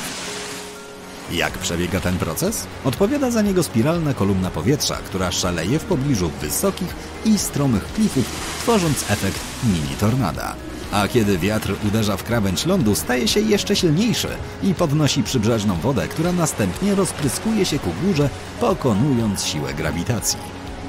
Tego rodzaju odwrócone wodospady występują również w innych miejscach, na przykład na klifach Moheru w Irlandii, w górach Islandii, a nawet przy wodospadach Waipuhia na Hawajach. Matka Natura wciąż potrafi dać show, o jakim nam się nie śniło. A oto Magnetic Hill, nieopodal indyjskiego miasta Lech. Wspaniały cel podróży. Tutaj można zaobserwować, jak przedmioty i samochody toczą się pod górę, jakby utknęły w jakimś wirze magnetycznym. Jest to złudzenie optyczne, które pojawia się dzięki podstępnym zboczom i ogólnemu ukształtowaniu terenu. Trasa może wyglądać jakby prowadziła pod górę, ale w rzeczywistości jest to zakamuflowana droga zjazdowa, płatająca ludziom figle niczym złośliwy magik. Możecie również zobaczyć swój samochód poruszający się samoczynnie na biegu jałowym. Nie, auto nie jest nawiedzone, to prosta fizyka. Nawet gdy silnik jest wyłączony, koła nadal mogą się obracać dzięki pędowi i subtelnemu nachyleniu drogi. Góra Aragak ma podobną historię do magnetycznego wzgórza w Indiach. Również jest jak magnes dla poszukiwaczy mocnych wrażeń i miłośników aut. Znajduje się na granicy Turcji oraz Armenii i ma reputację miejsca, w którym samochody przeciwstawiają się grawitacji. Ludzie zjeżdżają się tu, aby zobaczyć niesamowity spektakl, w którym zaparkowany na zboczu pojazd wydaje się sam toczyć pod górę bez kierowcy za kółkiem. W pobliżu znajduje się rzeka również płynąca pod górę. Osoby, które odwiedziły to miejsce twierdzą, że łatwiej jest tam wejść niż zejść. Numer 6 na naszej liście to Złota Skała w Mianmie. Wygląda jakby w każdej chwili mogła spaść ze wzgórza, ale nigdzie się nie wybiera. Leży tam od ponad 2,5 tysiąca lat. Skała jest centralnym elementem oszałamiającej pagody, która znajduje się na jej szczycie, wznosząc się 15 metrów nad ziemię. Według legendy skałę utrzymuje na miejscu nic innego jak kosmyk włosów Buddy. Nie ma się co dziwić, że miejsce to jest jedną z najważniejszych buddyjskich destynacji pielgrzymkowych w Mjanmie. Skała została wybrana przez niebiańskiego króla, który był pod wrażeniem niesamowitej ascezy buddyjskiego mnicha. Użył więc swoich nadprzyrodzonych mocy i ostrożnie umieścił ją w obecnym miejscu, gdzie przypominała głowę mnicha.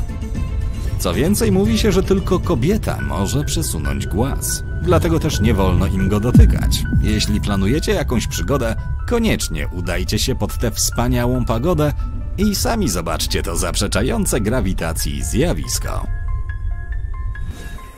Wracamy do Stanów. Oregon Vortex znajduje się nad brzegiem potoku Sardin Creek w stanie Oregon. Ta przydrożna atrakcja turystyczna istnieje od 1930 roku. Jej zarządcy twierdzą, że dochodzi tu do aktywności paranormalnej, ale jest całkiem oczywiste, że rzecz polega na sprytnych iluzjach optycznych. Legenda głosi, że jeszcze zanim atrakcja została zbudowana, rdzenni Amerykanie w okolicy ostrzegali, że ta ziemia jest zakazana, a konie nie chciały się tam zapuszczać. W 1904 roku poszukiwacze złota zbudowali tam biuro pomiarowe, a budynek przesunął się pod dziwnym kątem. Wyobraźcie sobie teraz, że jesteście w przytulnym miejscu z dala od miejskiego zanieczyszczenia świetlnego. Wpatrujecie się w miliardy gwiazd, które tworzą nad wami migoczący spektakl. Ale jeśli robilibyście to w miasteczku Marfa w Teksasie, doświadczylibyście czegoś więcej.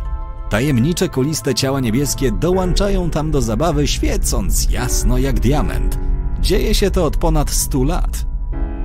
Ale czym właściwie są te świecące kule znane jako światła z Marfy? Cóż, teorii jest mnóstwo. Niektórzy uważają, że to tylko reflektory samochodów z pobliskiej autostrady, ale to mało ekscytujące wyjaśnienie. Inni sądzą, że to czujące istoty, które próbują przekazać nam, zwykłym śmiertelnikom, jakąś ważną wiadomość. A teraz załóżmy, że stoicie nad brzegiem wspaniałego jeziora i podziwiacie majestatyczny wulkan.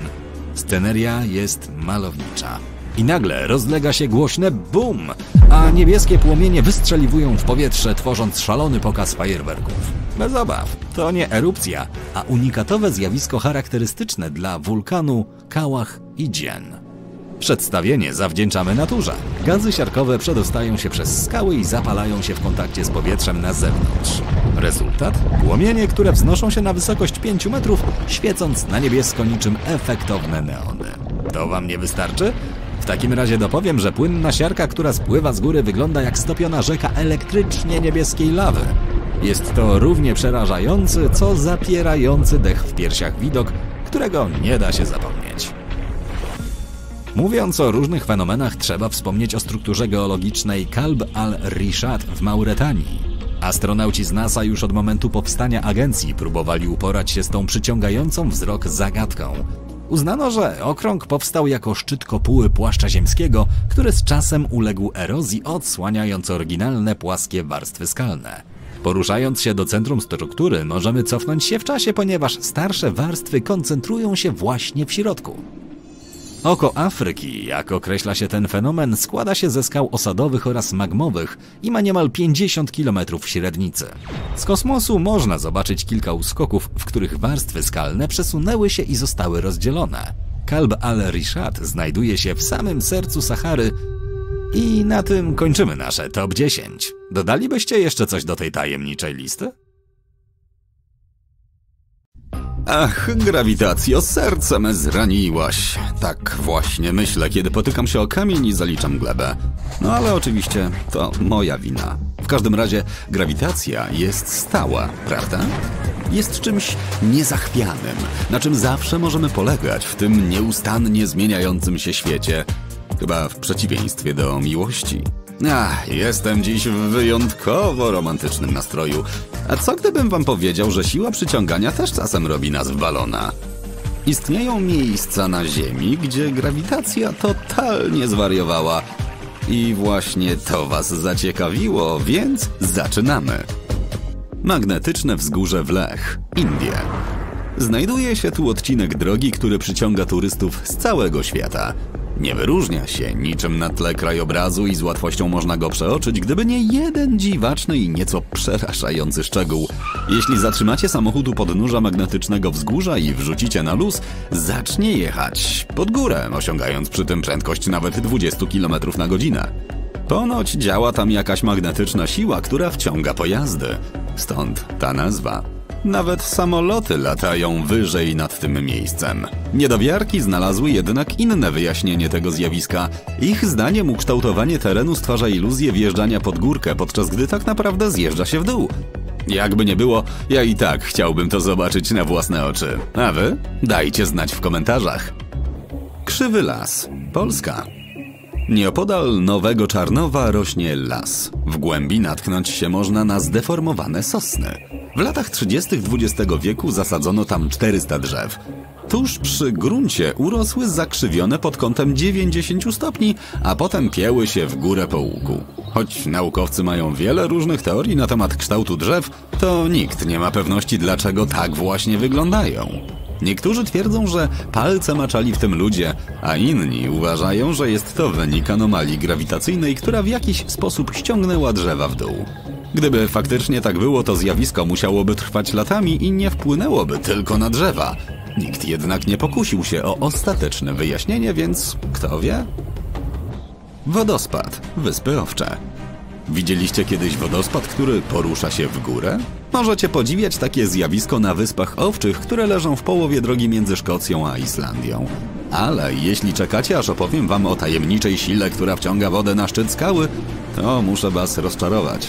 Nie ma w tym nic magicznego, choć prawda i tak jest zdumiewająca.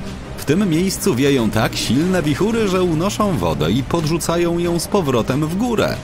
To chyba właśnie takie porywy pozwalały Mary Poppins latać na parasolce. Brzmi logicznie. Wodospad nie jest w sumie niczym wyjątkowym. Na Ziemi można znaleźć kilka podobnych miejsc, gdzie wiatr tworzy iluzję braku grawitacji. Na przykład w Anglii znajduje się rzeka Kinder, której wodospad nieustannie walczy z porywami wiatru. Są tak silne, że można odnieść wrażenie, jakby połowa kaskady unosiła się w górę i ani jedna kropla wody nie spadała na dno. Zapora Hoovera w stanie Nevada, USA. Jeśli będziecie mieć kiedyś okazję wdrapać się na szczyt tej wysokiej na ponad 220 metrów tamy, koniecznie wypróbujcie pewną sztuczkę. Weźcie butelkę z wodą i opróżnijcie ją za barierką. Zamiast polecieć w dół, ciecz się uniesie. Nie ma to nic wspólnego z magią ani nadprzyrodzonymi mocami. Podobnie jak na Wyspach Owczych, tam też wieją tak silne wiatry, że unoszą wodę. Na tamie robi to jednak dużo większe wrażenie, ponieważ można samemu przeprowadzić eksperyment. Tajemnicza droga. Korea Południowa. To kolejna grawitacyjna anomalia, która upodobała sobie jezdnię. Miejscowi odkryli kiedyś, że jeśli położy się na niej pustą puszkę lub butelkę, od razu zacznie toczyć się pod górkę. W przeciwieństwie do innych tego typu miejsc na świecie, koreańska droga jest czymś więcej niż tylko iluzją. Schodząc po zboczu nie będziecie mieli wrażenia, jakbyście się wspinali. Wszystko zdaje się całkowicie normalne, ale kiedy położycie na jezdni okrągły przedmiot, potoczy się w przeciwnym kierunku niż powinien. Lokalne władze od razu postanowiły na tym skorzystać i umieściły drogowskaz, który kieruje ciekawskich turystów prosto na tajemniczą drogę. Złota skała, Myanmar. Jeśli traficie kiedyś do Myanmy, niegdyś nazywanej Birmą, koniecznie wybierzcie się w to słynne miejsce. Jest to wielki, pokryty złotem płatkowym głaz na skraju urwiska, na którego szczycie stoi mała pagoda. Najbardziej zdumiewający jest fakt, że skała ledwo dotyka krawędzi. Wygląda to tak, jakby w każdej chwili miała runąć w dół, choć w sumie stoi już tak od wieków. Umieszczona na szczycie pagoda też nie powstała wczoraj. To wszystko sprawia, że widoki są niezapomniane. Można odnieść wrażenie, że głaz kpi sobie z tego świata. Grawitacja? Któż by się tym przejmował? Legenda głosi, że konstrukcję podtrzymuje włos Buddy. Ciężko to zweryfikować, ale możecie przekonać się na własne oczy, że skała nie jest niczym przytwierdzona do urwiska. I mimo to już od 2,5 tysiąca lat nie ruszyła się z miejsca. Coś musi być na rzeczy, nieprawdaż? Kamień Dawasco, Argentyna. Jeśli cokolwiek z tego zestawienia mogłoby rzec przecze prawom grawitacji, to jest to właśnie kamień Dawasco. Ten ogromny 300-tonowy głaz stoi niepewnie na krawędzi urwiska i kołysze się delikatnie przy podmuchach wiatru. Ludzie nawet sprawdzali, czy faktycznie tak jest, podkładając butelki pod skałę i te po chwili pękały, przygniecione jej ciężarem. Niestety, dziś nie można podziwiać tego cudu natury. W 1912 roku głaz niespodziewanie spadł z urwiska, na którym siedział przez kilkaset lat. Mieszkańcy pobliskiej miejscowości Tandil byli tak bardzo niepocieszeni tym faktem, że 95 lat później, w 2007 roku, postanowili odrestaurować głaz. To nie tak, że składali skałę kawałek po kawałku, ale stworzyli plastikową replikę i umieścili ją w tym samym miejscu i identycznej pozycji. A więc nawet dziś, przejeżdżając w pobliżu Tandil, można podziwiać słynny balansujący na krawędzi głaz, a raczej jego symbol, który już się nie buja i waży tylko 9 ton. Tak czy inaczej, nie da się go pomylić z niczym innym. Wieża Diabła w stanie Wyoming, USA. Pamiętacie to miejsce z filmu Bliskie Spotkania trzeciego stopnia? Jeśli nie, koniecznie musicie go obejrzeć, tylko może później. W tym specyficznym miejscu nie doświadczycie magii ani grawitacyjnych anomalii. Nie brzmi to zbyt ciekawie w porównaniu do poprzednich atrakcji, prawda? Najbardziej zdumiewające we wieży diabła jest jednak to, że naukowcy nie potrafią wyjaśnić, jak powstała. Ta wznosząca się na wysokość ponad 260 metrów formacja skalna ma tak strome zbocza, że są praktycznie pionowe. Ale to jeszcze nic. Wygląda to tak, jakby skała po prostu wyrosła z ziemi na równinach stanu Wyoming. To jedyna taka formacja w promieniu wielu kilometrów. Jakim cudem tak wysoka skała pojawiła się nagle na płaskiej powierzchni? Istnieje wiele teorii, ale nikt nie zna odpowiedzi. A wiecie co ja myślę? Moim zdaniem wieża diabła to po prostu wielki, wystający pępek świata. A jak jesteście tacy cwani, to wymyślcie coś lepszego. Wir Oregoński, USA. W domu zagadek w miejscowości Gold Hill w stanie Oregon turyści mają okazję doświadczyć przeczących grawitacji zjawisk. Nie da się tam stać prosto. Aby się nie przewrócić, trzeba cały czas się czegoś trzymać. Piłki toczą się pod górę. Jest tam też miotła, która stoi pionowo gdziekolwiek się jej nie położy, w przeciwieństwie do pozostałych przedmiotów w chacie. Miejscowe plemiona rdzennych Amerykanów jeszcze przed wybudowaniem domu nazywały ten obszar zakazaną ziemią i unikały go jak ognia. Właściciele chatki postanowili jednak zrobić z tego atrakcję turystyczną i jak widać udało im się. Spowili miejsce atmosferą tajemniczości i zareklamowali je w gazetach, a potem w internecie.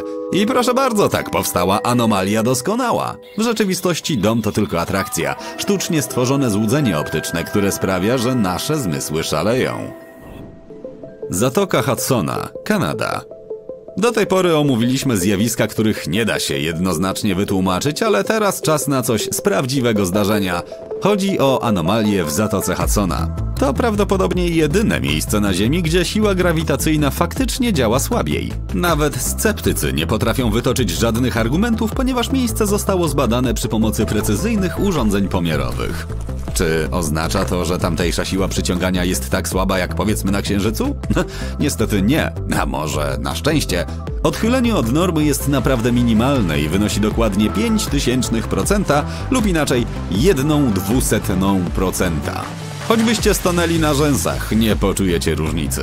Naukowcy twierdzą, że anomalia powstała w wyniku obecności pokrywy lodowej, która jakieś 10 tysięcy lat temu zalegała na tych terenach. Pod jej naciskiem skały uległy ogromnej kompresji, co doprowadziło do zmiany w polu grawitacyjnym Zatoki Hudsona. W przyszłości jednak tamtejsza grawitacja wróci do normy, a więc nie ma co liczyć na taneczne pląsy w stylu Michaela Jacksona.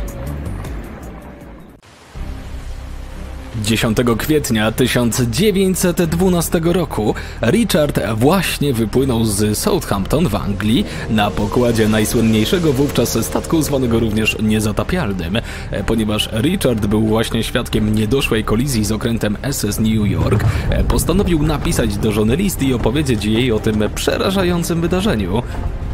Najdroższa sale. Wczoraj cudem uniknęliśmy katastrofy. Nie wiedział jednak, że zaledwie cztery dni później zarówno jego pióro, jak i parowiec, na którym się znajdował, na zawsze przepadną na dnie północnego Atlantyku. Czy to był jakiś zły omen? Czy Richard przewidział, co się stanie ze statkiem, którym płynął? Gdybyście jeszcze się nie domyślili, w dniu pisania listu do małżonki pan Richard Giddens przebywał na pokładzie Titanica. 14 kwietnia 1912 roku okręt zaginął, zdawałoby się, że na zawsze. Wraz z nim na dnie oceanu osiadły liczne skarby i tajemnice. Wrak odkryto dopiero w 1985 roku przy pomocy najnowocześniejszej w tamtym okresie technologii sonarowej. Od tamtej pory z Titanica wydobyto tysiące obiektów. Wiele z nich trafiło na aukcję. Pochodzące z okrętu biżuteria, kapok, menu z restauracji statku czy fragment kwadratowego dywanika z jednej z prywatnych kabin przyciągnęły uwagę całego świata.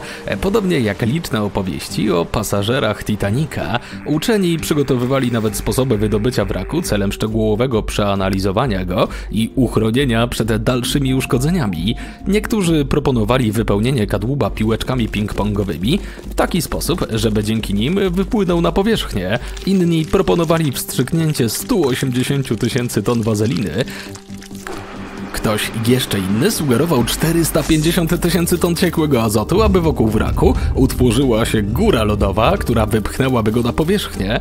Koniec końców uczeni musieli zrezygnować z tych pomysłów, ponieważ Titanic jest zbyt delikatny, żeby go w jakikolwiek sposób wydobyć. Okręt ten może być jednym z najciekawszych, jakie leżą na dnie, a na pewno jest najsłynniejszy, ale nurkowie głębinowi mają również wiele innych interesujących opowieści. Samoloty też trafiają na dno oceanów. Nurkowie z Oahu na Hawajach natknęli się na wrak modelu F4U Corsair. Niewykluczone, że ze względu na brak paliwa samolot rozbił się tu w 1946 roku. Na większych głębokościach natkniecie się również na posągi i zaginione dzieła sztuki, jak na przykład te znajdujące się w jedynym na świecie podwodnym stanowisku archeologicznym. Leży ono u wybrzeży Neapolu we Włoszech. Są to ruiny starożytnego rzymskiego miasta Baja. Znajdujące się tutaj posągi są co najmniej imponujące. Jak na ironię, do oceanu wpadła też spora część sprzętu, która miała nas zabrać na księżyc. Jak to się stało? W późnym późnych latach 60. i wczesnych 70.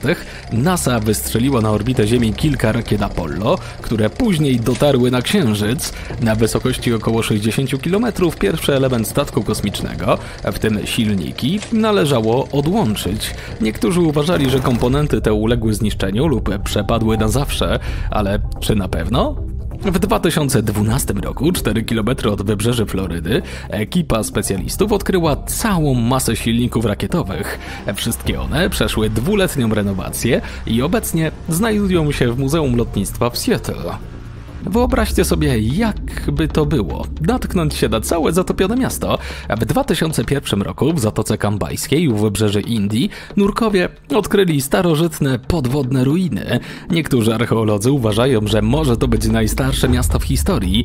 Powierzchnią dorównuje Manhattanowi znajdują się w nim masywne mury i wielkie place. Nurkowie odkryli fragmenty rzeźb, dzieł sztuki oraz resztki drewnianych mebli. Uznaje się, że miasto powstało 9,5 tysiąca lat temu i jest o 5 tysięcy lat starsze niż jakiekolwiek inne dotąd zbadane. No dobra, a co powiecie na podwodną rzekę? Trudno to sobie wyobrazić, ale wielu nurków uważa, że widziało je w meksykańskiej miejscowości Tulum. Czy to w ogóle możliwe? Nie do końca, ponieważ Cenota Angelita nie jest faktyczną rzeką, a wyjątkowym złudzeniem optycznym.